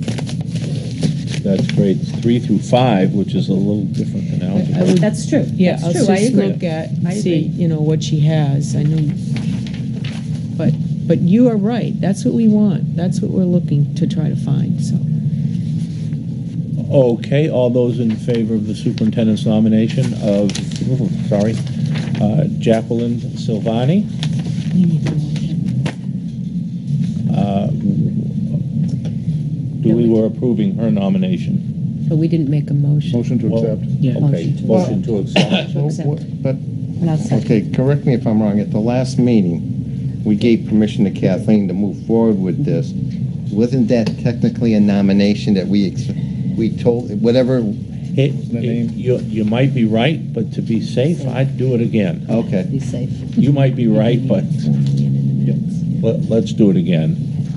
So if somebody would uh, make a motion to approve, I'll second. Andrea and Pepper already, sorry. Okay, so Okay, any further discussion on that? All those in favor? Okay. Okay. I think I'm pronouncing it right, Aesop? Aesop, yeah. Aesop. You know, and they've, Frontline, Frontline Education is a, um, a company that has morphed just in the last six months. They are the, they're the organization, they've, they've acquired and merged so that our mylearningplan.com and OASYS tools that we use for professional development and evaluation tracking, that's from the same firm. So is the applicant tracking software we call AppliTrack that we've been using for our candidate pool all of this now is a part of Frontline Education, and they came to us a full year ago with Aesop, which they're now calling uh, Substitute Management. And uh, so we've been implementing, working on uh, Aesop over the summer. Uh, Nathan Sadler, uh, the assistant principal at Marston, and Anna DeVilder, the assistant principal you met tonight at Hampton Academy. Uh, they've got the lead in substitute training. There'll be a substitute training for all of our substitutes on the 27th. They did this two years ago, and we made the decision back then that we do this on a two-year cycle. And so they'll be introducing it to the substitutes at the October staff meetings. Uh, uh, to teaching staff will have a chance to, to log in and, and begin to work with it. We have had just outstanding references from everybody uh, that uses the product. There's a number of districts in New Hampshire, uh, and it's uh, folks find it to be very uh, intuitive and fluid.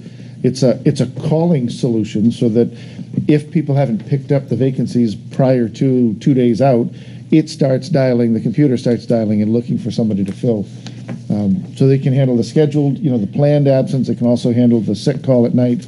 Um, Cindy Orlando, who's been working with us for some time in uh, making sub calls, she's helping to coordinate the, the list and the data. So we haven't gone live yet. Thankfully, we, we haven't had a big rush on substitute need yet, which you wouldn't expect this early on generally. Uh, but uh, we'll get it live hopefully uh, middle of October after the staff have had a chance to take a look at it and and kick it around a little bit. So again, it's it, it what it does is it puts uh, it puts some power in the hands of the teacher because they get to log in and create the vacancy or the absence. There's an approval process, just like we've always had in paper, but now it'll be electronic. Uh, but it also empowers the substitute because if you happen to be subbing in Oyster River and subbing in uh, Epping and Exeter hasn't picked it up, and I'm not sure Epping has either. But there's a couple. Uh, there's another one here somewhere uh, close at hand. If you happen to be doing that, the interface works with all of them at once. You log in and say, "Oh, I'll take a job in Exeter. I'll take a job in Hampton that day. I don't want to work on Friday, so I don't want that." So. Being a Uh, substitute, I have a couple questions. So a teacher gets sick during the night. Do I have to get up at five o'clock in the morning and go to my computer to see? No, in fact, some subs won't ever use the computer. They won't ever log in and and opt for those opportunities. They'll just wait for the phone to, to ring, and when the phone rings, you'll oh, the have phone a, will ring. uh, yeah, you'll have a number of options. Would you like to accept? It'll describe the, the position and the opening, uh, and if you'd like to, you can accept it. If you'd like not to, you can say no. Okay, if what- if you've already accepted one in Hampton uh, or in Seabrook, Hampton won't call you because the system knows even multiple districts that you've already signed up for a job, so it won't call you for others. And if you get a phone call and decide you don't want any calls today because you're going to take the day off, you say no, thank you, and please don't call me again today, and then it won't. What about can a teacher uh, request a certain sub? So the way the system is worked, set up that if it's a scheduled sub, the teacher actually puts in the vacancy and it gets approved with the absence. I'm going to be at a conference that day. The teacher has a favorite list of up to five teachers that subs, I mean, that they want, and then the building can have a favorites list of up to I don't know how many, and then the district has a whole list. So the way the software, that's part of what we've been doing all summer. Do you want to give 10% of the window of time or 20% to the teacher's favorites? How much percentage or days do you want to give to the building's favorites before it opens up to everybody? So for three or four or five days, the teacher's favorites get an email and they know that there's a vacancy and if they want to, they can log on and take that job. Otherwise, it goes to the next list and so on. So yes. Uh, I, I know we were a little out of order here, but I know Joan is a very experienced Sub, substitute. absolutely, so I uh, appreciate the had- feedback. Had questions that are important. Yeah. I, I, I guess my question is, is, is the cost per teacher or is it a cost per district? It's a it's an annual um, it's an annual fee per teacher who needs a sub. So ultimately, we're only using it right now as a substitute management solution.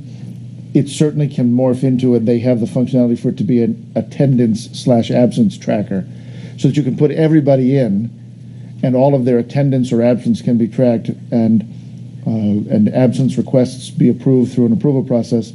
You pay for those for whom substitutes will be necessary. So even though I may put the occupational therapist in, if I'm never actually going to call for a sub for the therapist or have the system track a sub, then the occupational therapist isn't someone you pay for. So, So how much is it costing per sub? Oh, it's I, you know I don't remember the I'd have to do the math in my head, but I think the annual is uh, somewhere around uh, twenty twenty eight hundred dollars, twenty five hundred dollars a month. I mean a year.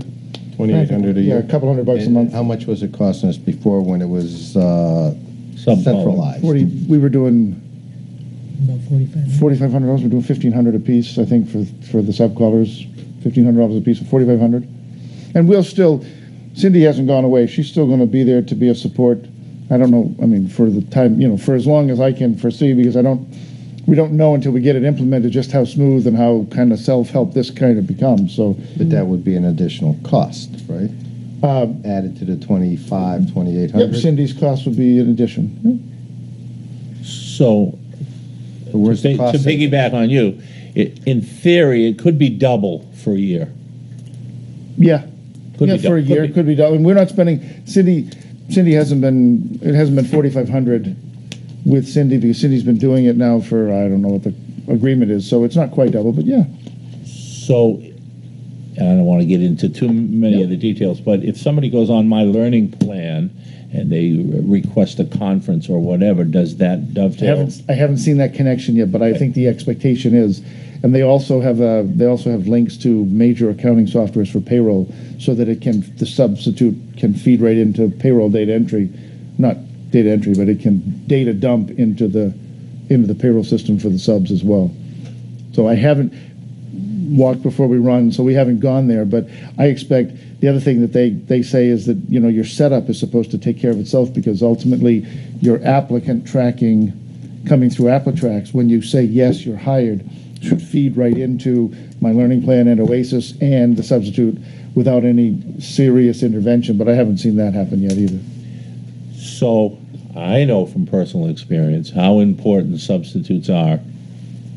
Okay, and getting and getting very good substitutes, and, and how important that is. So, um, and I know you guys do also. So, you're kind of taking a leap of faith here.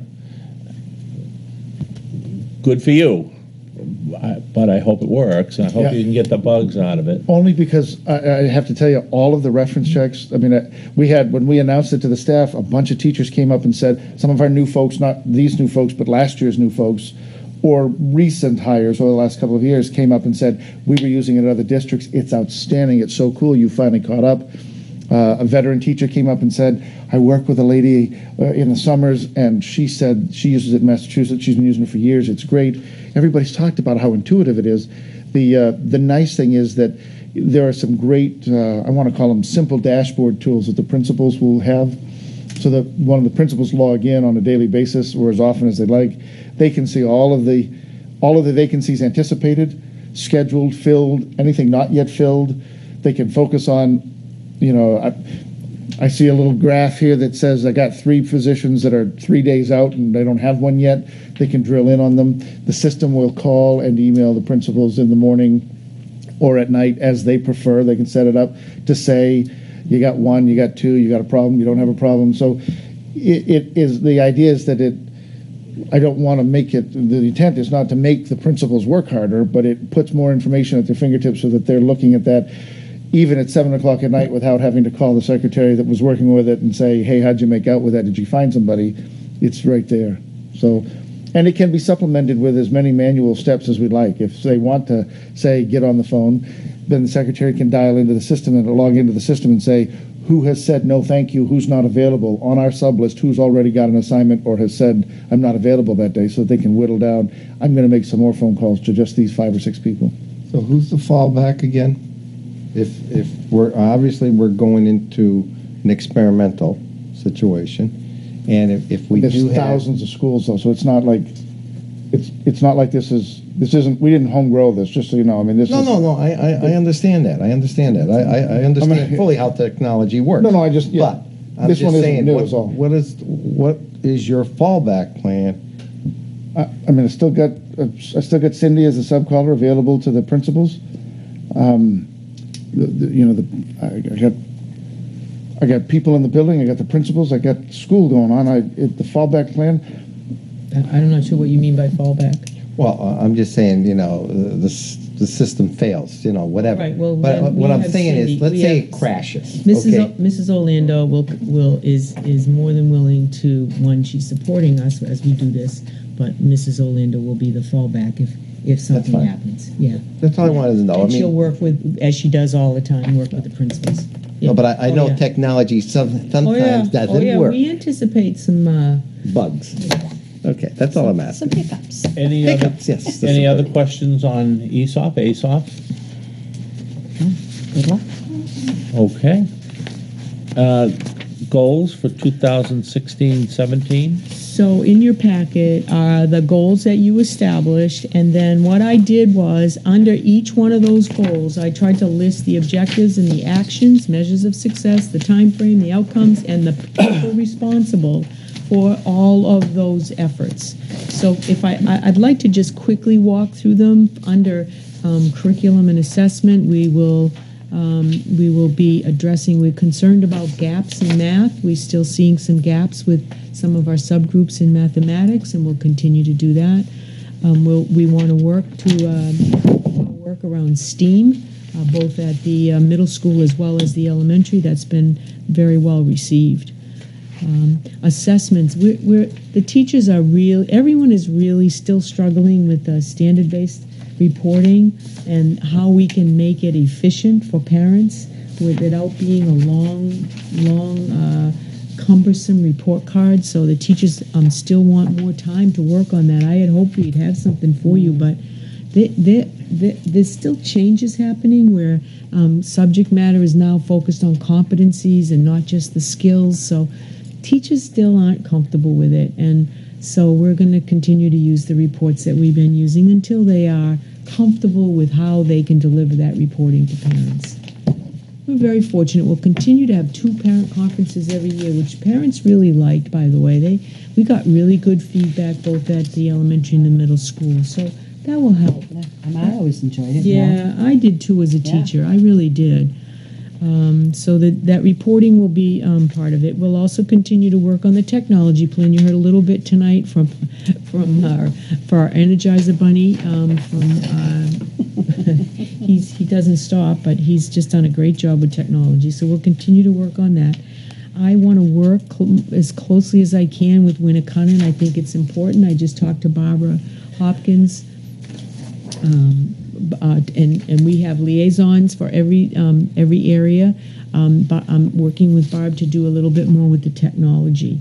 Um, they've been really pushing us to um, to move towards Project Lead the Way. So there's a new program for Project Lead the Way. Um, which is uh, not as costly because, quite frankly, Project Lead the Way at the high school is very costly. But there's a new program out, so we're looking at that. Um, but I really would like to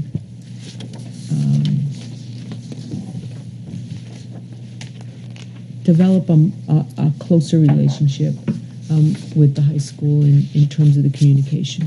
So, um, social studies, as we as I talked about, um, and using uh, formative assessments. So that'll be all the work in curriculum this year. Okay, under number one, and you can see some of the other things that we'll do under two. Um, under uh, human capital, which is your your resources for personnel, um, the technology. I think, uh, uh, Ginny, I think you asked that question about when we would be able to Yeah. use the tech people, and so we're working on that and, and seeing how we can use them because they do have some time with less classes because of the enrollment numbers.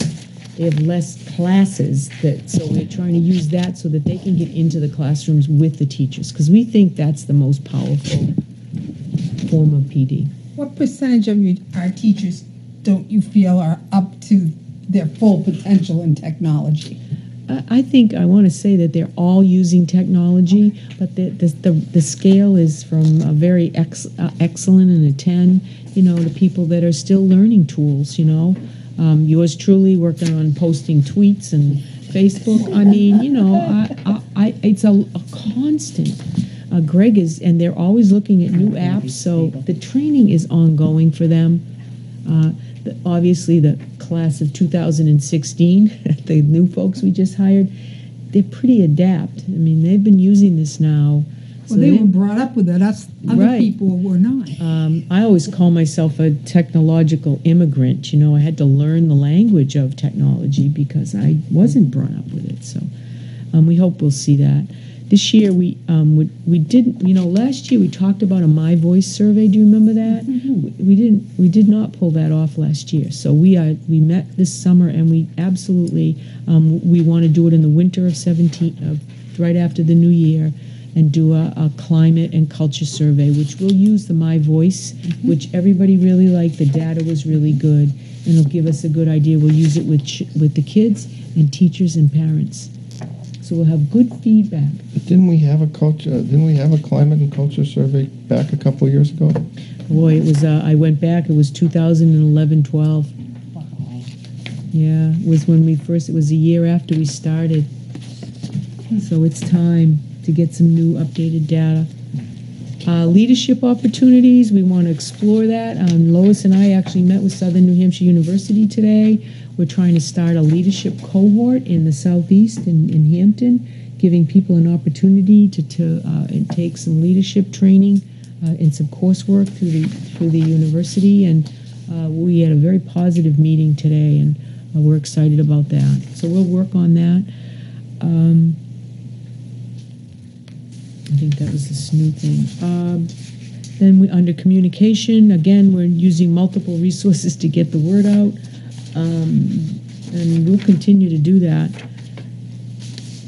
The le- the one at the bottom that doesn't have anything filled in yet, that's really Jessica's. She really wants to start this parent group, so I didn't ask her to fill out anything yet. I mean, she's she's going 100 miles an hour, so we're not quite there yet to fill that out. But that's basically she wants to have that parent group and focus groups in special ed, and I think it's it's extremely needed in the district.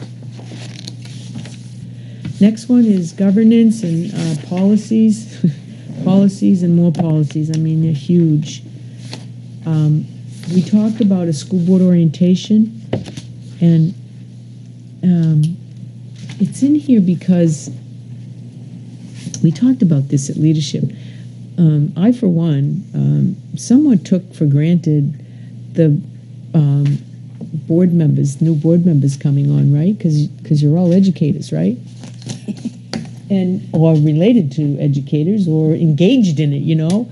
And we didn't really do a formal orientation for for new board members, and I think we're remiss at doing that, um, honestly. And so I put it under. I mean, you can certainly tell me that you don't want to do that, but I I think it's important, and I I, I, I felt remiss. We felt remiss in not providing that support to new board members. Even even Les, who's been here for you know in the business for uh, for a few years, Couple. couple, and um, you know he's thrown into the chair's position, and you know it's, it's all new, it's different, it's you know the the questions around email and the questions, you know all those things, and I think we need to. So, uh, uh, safe routes to school. Uh, no, I'm sorry. Did I skip ahead? Uh, yeah, I did. Uh, safety protocols. That came up with uh, you, Les. You really wanted to do some discussions around safety protocols, so we want to do that with you at one of our meetings. And I'll be working, and Nathan and Keith will be working with the town emergency planning committee with the chief and Jamie Sullivan and that, that crew. So, um, and the last one, uh, the finance and facility. You want to speak to that one, we Nate? We continue to try to chase anything that we can on our own or with the town, trying to find economies of scale. You know, we'll, we'll continue to be mindful of the things that we contract for to see if we can, if we can generate, um, you know, cost savings, efficiencies. You know, sometimes it's not always doing it cheaper, it's just doing it better if we can find a way. Uh, With regard to safe routes to school, you know, we, I, I gave you, as a part of the report, I mentioned that we didn't have any good news about our Winnacunnet Road project. Uh, First round, there was, there weren't any bidders. The second round, there was just one, but it was twice the money that we'd set aside. And probably because everybody's got business and work to do, and nobody was really work right now. So, but we're hoping that maybe we can continue to work uh, with our engineering partner to uh, put together the Marston, uh, the Marston intersection at the top of Marston Way with High Street, uh, and maybe bundle those together uh, and time it such that we go out to bid with some of the other work the town is doing, and maybe in the next cycle, uh, we can do that, maybe even in the spring as we launch towards summer. So we'll keep working to try to address those hot, those hot button items that were part of that Safe Routes to School plan, that travel plan. Okay, um, I had that question. What are we doing in the meantime to address the issue at Center School? Because obviously that project has gone by the wayside because no one's bid for it. But what are we doing to, you know, what's our fallback plan? Well, we, we've, you know, we've um, got our monitor out there every morning. It's all uh, noticed with cones. And we have somebody out there in morning and afternoon walking kids across the street. Um, I mean, we've been fairly successful with that. It isn't like that didn't work. um, we were just stepping up the importance of the safety factor there and trying to slow people down. Oh, no, You know, so I, I don't really have another position relative to that. I, um, we do get a lot of police presence. I mean, the, the, the, the, the cars are out there a lot in the morning to, with their lights going, so that's helpful. That's really been a really big piece, and I think it's a, a, a great ser- service that the PD is, is providing. Uh, both the chief and the, and the former chief uh, made comments uh, in the course of the conversation over a period of time about this, that speed isn't necessarily the greatest factor there. And ultimately, in our deliberations, we decided not to put in the raised table because, uh, again, the suggestion was it's about focus and attention in that area rather than, you know, a breakneck pace. Uh, and so having some lights and some presence uh, helps with some of that. Oh, that works all the time. It It works really, the time. blue lights will blue lights will make people pay attention Well- like nothing else. So I- If I may, we've drifted here a little bit. Yeah. Okay, we were just finishing with the goals. Okay, and um, do we have any questions on the goals? The only la, there's the last one is the facility, the Hampton Academy project, and that's on your back page, and obviously, we're moving forward with that. I mean, the committee meets again tomorrow night. Uh, we've been, you know, spending time on what that building should look like and where we could make any changes, and I'm hoping that very, by October, they'll come in with a recommendation to you. I mean, you have to get ready for your, your budget and your warrant articles, so, uh, and I also, by the way, in your packet is a list of all the people involved. So, that, that's it. That's it. Any questions on the goals? I think it's really important that we do training for the school board because we don't realize, I mean, I just realized this week was researching something that we have to give a reason if we seal minutes, and that has to be part of the minutes. If we don't do a step with some of these things, we're ending up being in trouble, and it's gonna, the blame is gonna end right here with the five people that are sitting here. So I think we need to know some of this stuff that we may have forgotten or so I think it would be good for the whole board to be trained. Really. Other comments, questions? I agree with Jenny. Okay. Um, moving right along. Water testing results. So I have, I have great news. I guess I would like to sh- just couch it that way and share it with you. There had been, I'll do this as briefly as I can. There had been any number of conversations about water that had percolated up in the news throughout the state of New Hampshire, and uh, and and so we engaged uh, this summer before the start of school to do testing of drinking water throughout our three buildings. I offered the reports. Uh, what I can tell you is that the first round of tests uh, throughout the three buildings were at drinking fountains, they were at uh, nurses' stations, and in kitchens, and they were, call it a resting test, meaning the water wasn't, you didn't run the water for any length of time. You simply turned it on, you took the first water out of the tap in each case, or out of the fountain. Uh, so that in many cases, like in the kitchens, those had just been sitting there since the you know the third week of August, the third week of June, talking about seven, eight, nine weeks, uh, and as a result, you're testing the appliance, you're testing that location rather than the source of the water, right? Because that water has been sitting there in that faucet or whatever you call it. So that that we did those tests, and we had a handful that came back with some elevated levels and uh, we we have addressed those and done retests. And the retest is a running test. You let the water run for 10 or 15 minutes, and then you take your sample. Those have all come back with with negligible levels. We've got great water coming to us from Aquarian, the water source. So the conversation that we were looking at, or the question we were asking was, how are we inside the building?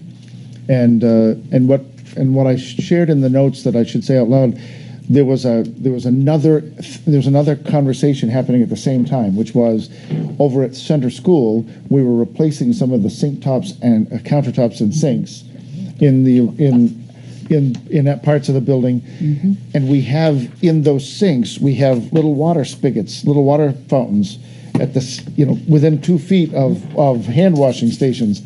Doesn't meet code any longer. We're talking about cross contamination. Plumbers said we can't put those back in A couple of the samples that came back with some results that we needed to pay attention to were in those little spigots, those little fountains. So over the next uh, over the next month or so, we expect over we're hoping over um, Columbus Day weekend, we're taking those all out at both Marston and Center. Uh, so those will all be gone. What we've been doing over the last three years, anyway, is putting water stations in the classroom wings in the hallway.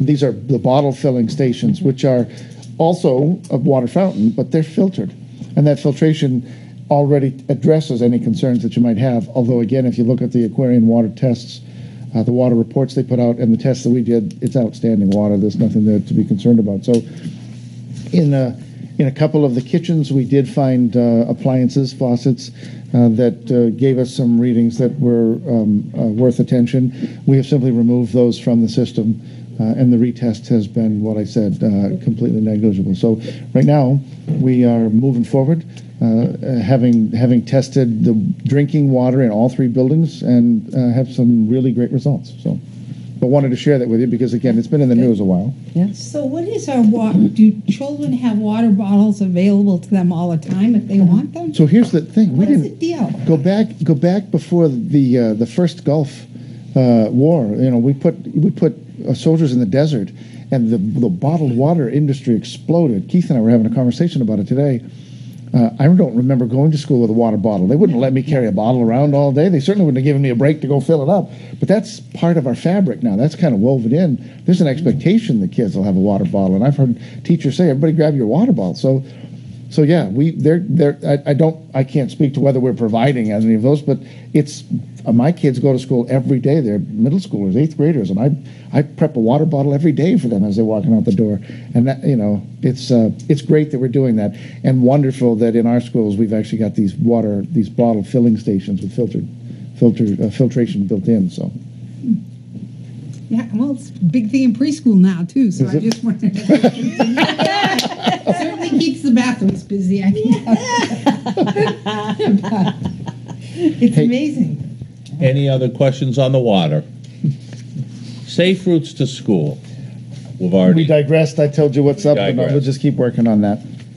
The, on the financials, there's not a whole lot in the financial report that I gave you for the current month, but what I did deliver to you tonight, and I spoke to a couple of you as you walked in, if, if you give, if you give that your attention for just a couple of minutes, um, this is the summary uh, for the year.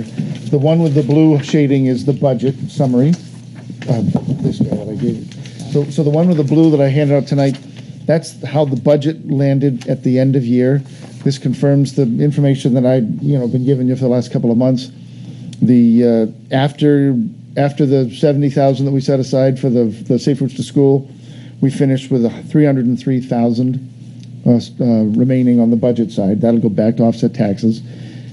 And we can walk through that if you have any questions. I tried to put notes in that kind of explain the biggest drivers there.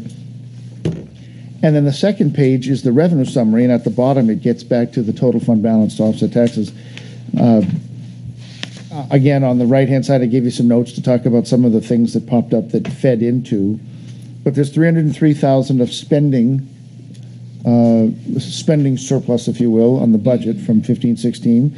And there's another $98,000 on the revenue side, the biggest chunk of which was Medicaid uh, to schools reimbursement, which was $63,000 higher than, uh, than we'd anticipated. But that's a nice offset to the special ed costs for some of the out-of-district placements that we'd had that we had not anticipated if you go back and look at the budget report. So those two combined for a fund balance of uh, just under $402,000, which uh, is a good number because our number last year was 446,000.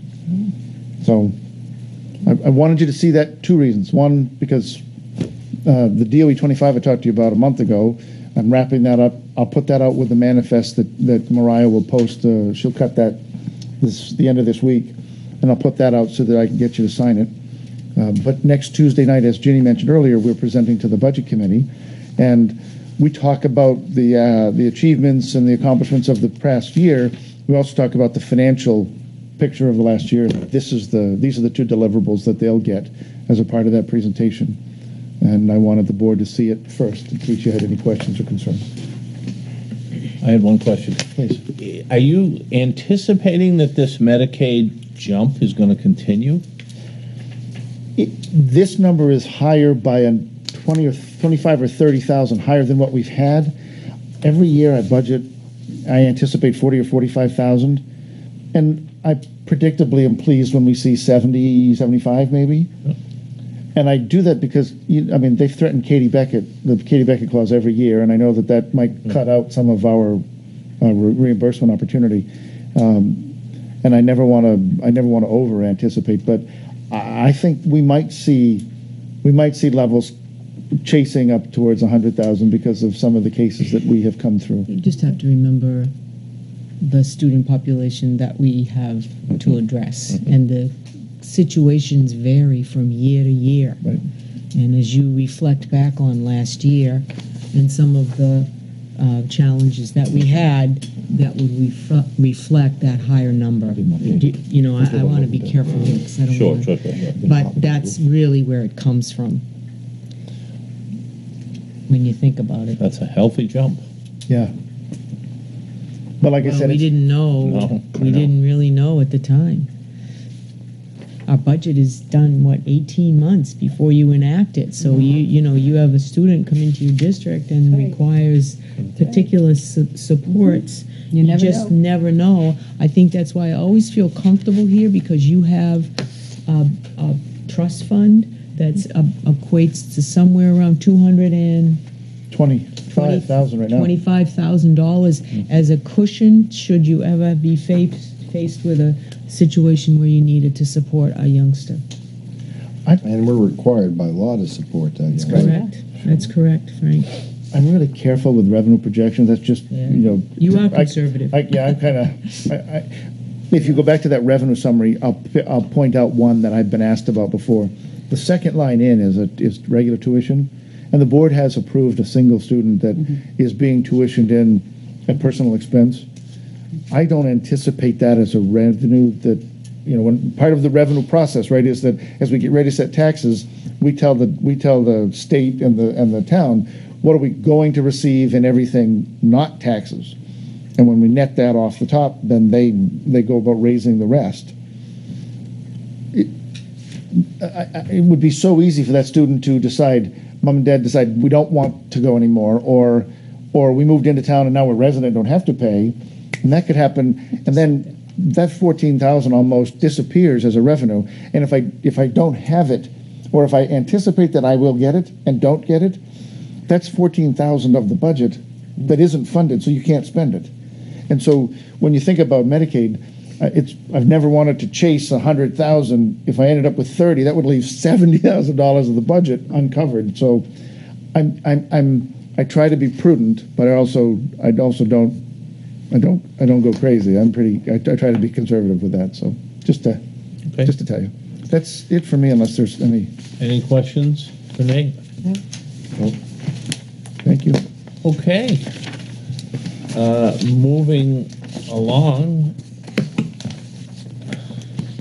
I think we've already talked about the facility project update. Budget committee, Ginny, I think you've mentioned it. You Yep. want to mention it again? Well, next Tuesday night, seven o'clock, we go in front of the budget committee to just give a, a recap of this year and a project for next year. And it's, it's interesting because like the cable TV committee, which now the town is uh, offering or is going to fund the position of a John for them. It's interesting how we've worked together to get the best for school and for town. And now with the crosswalk project, we can join, maybe there's some other things that we can do together. It's gonna be good. You, you should, you really have to know that Keith and I have appreciated some outstanding support and, and, and uh, cooperation with Public Works. Chris Jacobs and, and Jen Hale have been, Jen Hale? Jen Hale. Yeah, Jen Hale. Have been just outstanding in working with us on the project at Winnacunnet Road that we didn't get to do, but we hope to do next year. They really have done everything they can to try to marry our projects up with their projects and, and, and find as much, uh, as much uh, synergy that way as possible, and we appreciate the work they're, they're doing. New Hampshire School Boards Association, that's me. I emailed all of you, I just got this uh, in the, e- via email. uh, the New Hampshire School Board Association policy update. So you're going to get that with a username and a password. I tried to do it and it looked like it was going to take a while. Also on October 5th, uh, it's the Bradley Kidder Educational Law Conference. Anybody's, that's put on by the School Boards Association, New Hampshire Council of School Attorneys, and the New Hampshire School Administrators Association. So that's October 5th, 8:30 to 3 in Concord. And every year, the School Boards Association asks boards if they have resolutions. And I think they vote on these in January or February or some, sometime. So if you have any resolutions, uh, they're due October 21st. And that's all I have from the School Boards Association. Rec Department. Which I did, Oh, you did already? yeah, about the Okay. ice cream social. Okay. Curriculum Committee, Andrea. I just have a question. Um, you have on the 29th of this month, Science Committee meeting? Is that science? Science or social studies? I have to look. Um, Three fifteen, Science Committee meeting, 29th. I'm just double checking that it's. Yeah, you know, um, Joyce is coming in that day. Okay. To work with them all day on their performance assessments. So we'll sort of combine that during the Okay. day. So, and then social studies is. Um, I thought I put social studies in on the. I have to get back to you on the I think, I, social I studies. think I have an email. I, I but- yeah, I put it out, but I didn't put it in my book. I probably have it on my calendar in here. Um, but the social studies is at the end of the meet, uh, the month. Let me just double check. For some reason, I felt like it was. I just didn't want it to be on the same day. Yeah, social studies curriculum is the twenty eighth. The 28th, it is, Yeah. okay. That's that's. That's Yes, I know. 3:15. Yeah, there it is. Social studies. Yes. So that'll just be an organizational meeting. Yeah. You know who's on the committee, wha- how we want to meet, when. Okay. Professional Development, Pepper, anything? No. Pepper, we have a meeting coming up. Okay. Um, that meeting, the first meeting is September 22nd of the committee. Okay, right there, Okay, yep. Okay. Okay. Second reading of policy IC.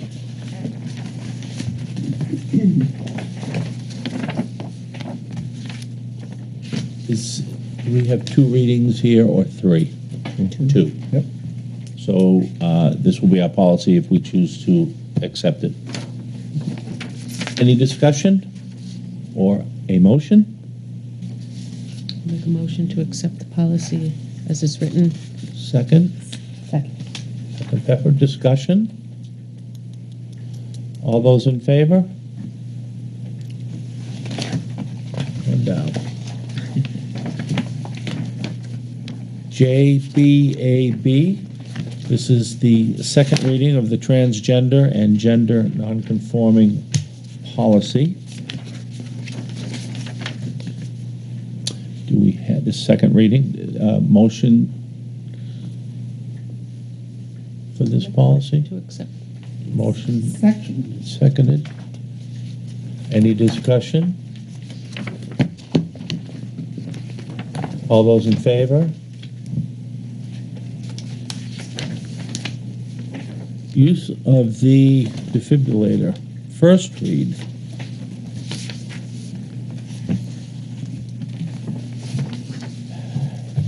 Any motion?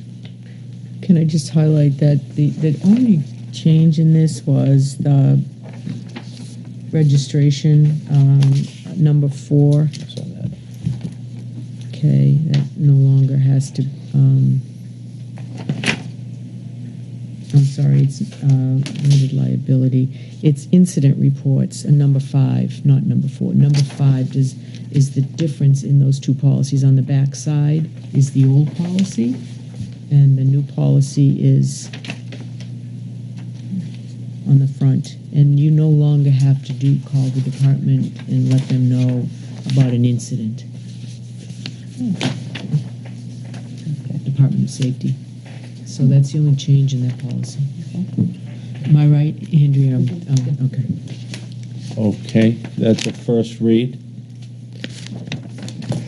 And I would ask that we table the concussion. I didn't have it ready for today. I, I did meet with Karen again to review it. Andrew and I looked at it um, just the beginning of the year. I just never really got to make the changes that Karen and uh, Ellen were recommending. So I'll bring that back to you next meeting.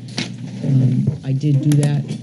So And we don't, we don't have another meeting until October because we went over so much. Yeah. I have a lot still to, to, to prepare and make changes. Do we need a motion for the first read? No, No. you just, I'll return it to the next Okay. agenda. No, no, that's what I just asked you. That's a first read. Okay. All right, moving to the minutes, August 9th. We can do public first, August 9th. Motion? Motion to accept the minutes is. Moved Andrea, second. Second. Ginny? Discussion? All those in favor? Uh, an abstention? Non-public? Motion? Frank? Second? Second. Andrea? Um, discussion? All those in favor? Abstention? Yeah, Four oh one. No, I was there. Oh, you were there for Yeah. the? I For the was trying to non-public? find it, yeah. Uh, Well, the for- 24th, is No, that the she's still doing the 24th, ninth. Mary? She's on the back Non-public public of ninth. No, the ninth you were not. Right. You just, At the regular meeting, I was not. Or the non-public.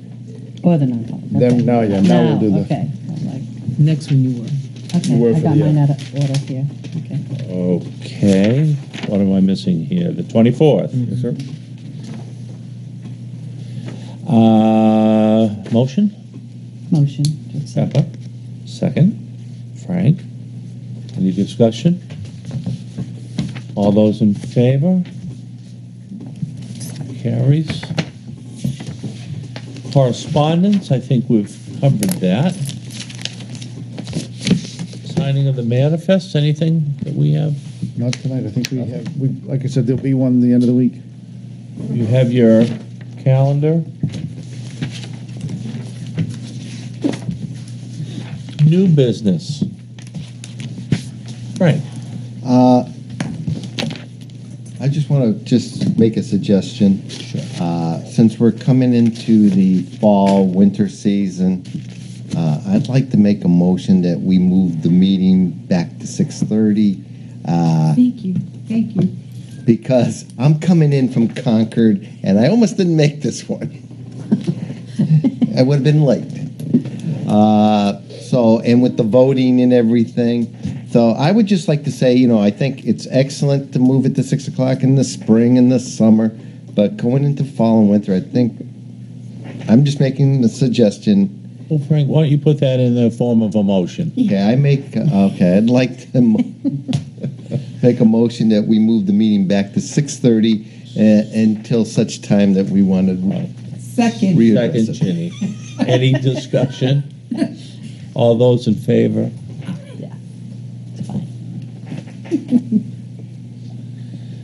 Any other new business? Uh, I think you have it under other, but uh, I'm, ju- I'm just, I think we- you had the same email that I I got. did. uh, Regarding the noise variance I had at, forgotten about it, but yes. at uh, Hampton Academy. And I know you and I discussed it when, uh, back uh, in, I think it was May, April, May, and it was going to be addressed, but uh, we did get an email uh, from an individual uh, that was complaining about the noise or the loudness, and uh, along with a tape, Had a video. a video, a video with the noise from inside the house. Uh, so, uh, can you enlighten us on what we're doing to address it? I thought it was going to be addressed back in April, but Um, the system is obviously antiquated. Um, the system doesn't allow for them to zone out certain areas. It's just it's it's a it's a feature on it that should there be an emergency, they when they throw that on it. It, it, it, it alerts both inside and outside the building. So, But it's not only an emergency. Right. I mean, it isn't an emergency. No. I know that. It's just simple announcements. But when they make them, it that particular it, it, it, it announces to the outside. We talked about it. Um, we talked with Keith, and we would need to go in and make some significant changes to the system, and I'll have to work on it. I, I, I, I, don't know what else he's done, so obviously he hasn't done anything, so I'll have to address it. It does the same thing at Marston. No, it doesn't. We, we went in there and we had to change out the system. It does not do that anymore. Because I hear their announcements over where I am. Well, no, I, Well, there will be some. There'll always be some when we have fire drills and all that because we're trying to bring kids in from outside. Um, so you're right. You may hear some of that, but the normal everyday dismissal notice uh, announcements you should not be hearing anymore. I do. Okay, then I'll look into it. I'll have to. It doesn't into bother me. We'll look into it. You No, need it. we'll look into it. Do you need us to? Um, Why don't you let me look into it and I'll come back to you with a with some resolution. I just didn't know if you said an antiquated system. Do we need to get the money? Yeah, well, we're going to need to To- bring in a nor, uh, And Norris. sooner, Yeah. unfortunately, sooner rather Well, than later. it's, I mean, this, I'm not sure what building, I didn't see the email, so I'm not sure what building Yeah, we're talking I didn't about, see but. the email either. It's Hampton Academy. Hampton Academy? Yeah. It was on the Academy Ave But, side. but, Okay. but Frank and I talked about it in the spring. Well, I, I think what happened, and, and I don't know if I'm allowed to say this, No, but I, I probably No, you're not. probably not. Okay, If you're We'll questioning go- it, don't bother. I will look into it. Yeah. Thank you for bringing it We, to my we, attention. we had tweaked, I mean, a year ago, we talked, uh, maybe not quite a year ago, we talked about Marston. And I thought that, I didn't, I would, I'm surprised that you're hearing It's not loud, but you can hear it. 'Cause bells, bells you Bells, probably you can hear. hear I got, bells, we got can kids on the play, I got kids on the playground, right? So, And but I would not have thought you'd see, heard like, uh, good afternoon, students, we're getting ready to board the buses, blah, blah. I would not have thought you'd hear that because I, I don't, I don't have anybody on the playground at that point generally, it's so not a big deal. let us chase it down. Yeah, well, let us get some. Well, I know we want to be good neighbors. Right. If- And do. I think if you're looking at uh, I don't think we need a motion to tell us, to give but us I- I permission just- to do it. Right. L- You'll need to advise us if you need, if we need to get the money Right, Yeah. right. and Well, get, get right. the We antiquated have- system fixed. Because it can be a security issue if you're mentioned, because kids' names can be mentioned. They are mentioned. in the morning morning announcements, you know, so and so, please come to the blah blah blah blah. blah. To me, mm-hmm. maybe I'm overreacting, but It's um, the end of the day and the beginning of the day stuff. It's not during the day. It's not during the day? I don't, I'm, I'm lost. Well, I I doubt that you're going to want to put money into something that might be uh, changed drastically if we get the, so I guess that's what I'd like to like to see Keith co- or Yeah, I'll can you come up Keith with a and see. system um, that Can you forward that to me? It, it's just a video. I can forward it. I can Yeah, try can to you forward the video. that yeah. to me? Yeah, that would be great. Yeah. Just Well, forward it I want to- to make sure it's the right one. Yeah. Here, let me just.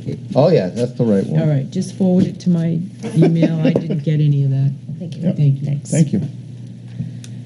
any other new business or other? I'm not sure the difference between new business and other. I, I'd like to make a suggestion to Kathleen, uh, and you know, just for when you have your open house, you know, where parents come in, you know, uh, and this is just a suggestion, but you know, I, I thought we got some great input from Craig's group and uh, you know, on on the uh, tablets and what being involved with the student. Maybe if you can do a, an expo in the cafeteria at Hampton Academy or some of the other schools, and have you know that on display and have you know Craig or one of his group members talking about it and what the kids you know as well as you know the guidance counselors down there with their it- it's just an, an expo. But I think you know I think the parents would get some added pleasure out of that and input that their kids are, are really got all these uh, things open to them Well, they do do curriculum nights. I know and they do it in have the all- classroom. You know, they do a lot of things like that in the classroom in the unified arts. So, but uh, um, some of those things maybe we could um, emphasize. When the open house is really hard because it's they're in and out, and it's um, three kids, and they're going to three different buildings. It's and it's not a long time to do it. So, but but I I, I appreciate your your uh, your. It's just a thoughts. suggestion. Yeah, I don't care. No, I No, think it's it's good. great. Could we have a table set up somewhere for uh, free and reduced hot lunch applications and 68 hours of hunger? Just information so parents could pick it up there? Could we do that? If, or is that a breach? I, I would be um, somewhat concerned about that. Um, if I'm over at the free and reduced hut table getting my application or getting my signing up for, for food, I, I think that sort of violates the Well, could we give- confidentiality. Could we give a sheet that says, have you, if you need it or it's offered? We 'Cause- do, we send it all home with every That's what I kid. gonna say. We, we normally Yeah, I do. know you do, but Every we single can just- kid gets one, but nobody knows who fills it out. Maybe a sign that says, please visit the nurse's office if you're looking for information on these topics and Yeah, one of them, of them yeah. would Have to- it would pro- That would be a good way to do it, would be multiple topics so Yeah. that people don't, Right. you know. Yeah. And, Well, and if there's have any a place flyer, like if the any nurse's, handout, we could add that for sure. have a place Yeah. like in the nurse's office where they could go in discreetly and get it. Yeah. Well, that might be a good announcement for the alert messages that go home. That's true. too. Everybody gets those. Yep, everybody gets it. No? Maybe we're, Uh, okay. Any other business, new business? I want to say monkey business. Oh, I did have, I'm sorry, Andrea. again. And not my personal opinion, but a couple of parents of the kindergarten, first, second grade, that open house. They said noontime was really difficult for parents to just leave, leave their jobs and go there. I explained that, you know, we had the staggered um, times because of multiple children, you know, in different classes. I don't think there's a solution for it. I just wanted to pass it on that some parents were like, well, I have to leave work in the middle of the day, blah, blah, blah, blah, blah, blah. And I'm like, well, yeah, that's what you do. but it was, for some parents, I guess it was hard to just leave work in the Yeah, middle. Well, it they also- go, they go from, and some of them go from Right. Center over to Marston for ice cream, and then Mhm. at five thirty, they're at, uh, middle school, so it is, Right, there is no, Right. but I just thought I'd say it since it was mentioned. And And they have to plan on extra, taking some days off when the school is closed on Friday. They don't have Labor Day weekend off. And also on the days of the first day of school, Monday, they had to find ch- be childcare. So, I mean, by that point, they're frustrated. That's their, where it's coming from. It's just finding childcare. And also taking time off, losing time at work for going to two hours at the school.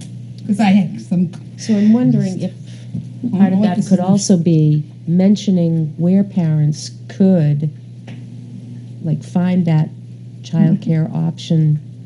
Um, I'm trying to drum up business for you, but I'm just saying. No, it's just it's a temporary because you need it for Right, that the one temporary day. times Yeah, are, are uh, hard on parents. so are you suggesting we open?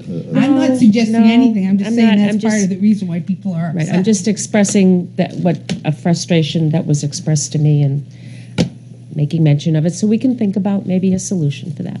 you know, I also have to be sensitive to the teacher's work schedule Absolutely, and yeah, their absolutely. contractual hours, and I, I, you know, I, I won't hear that you loud and necessitate clear. I don't, Contract issues too? well, of course, because they are obli- they are under contract and their day ends at three fifteen.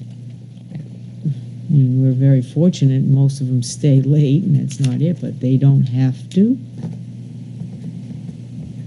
I don't know of a one that has ever said no, but, you know, I mean, but even at Hampton Academy, they're there at five thirty.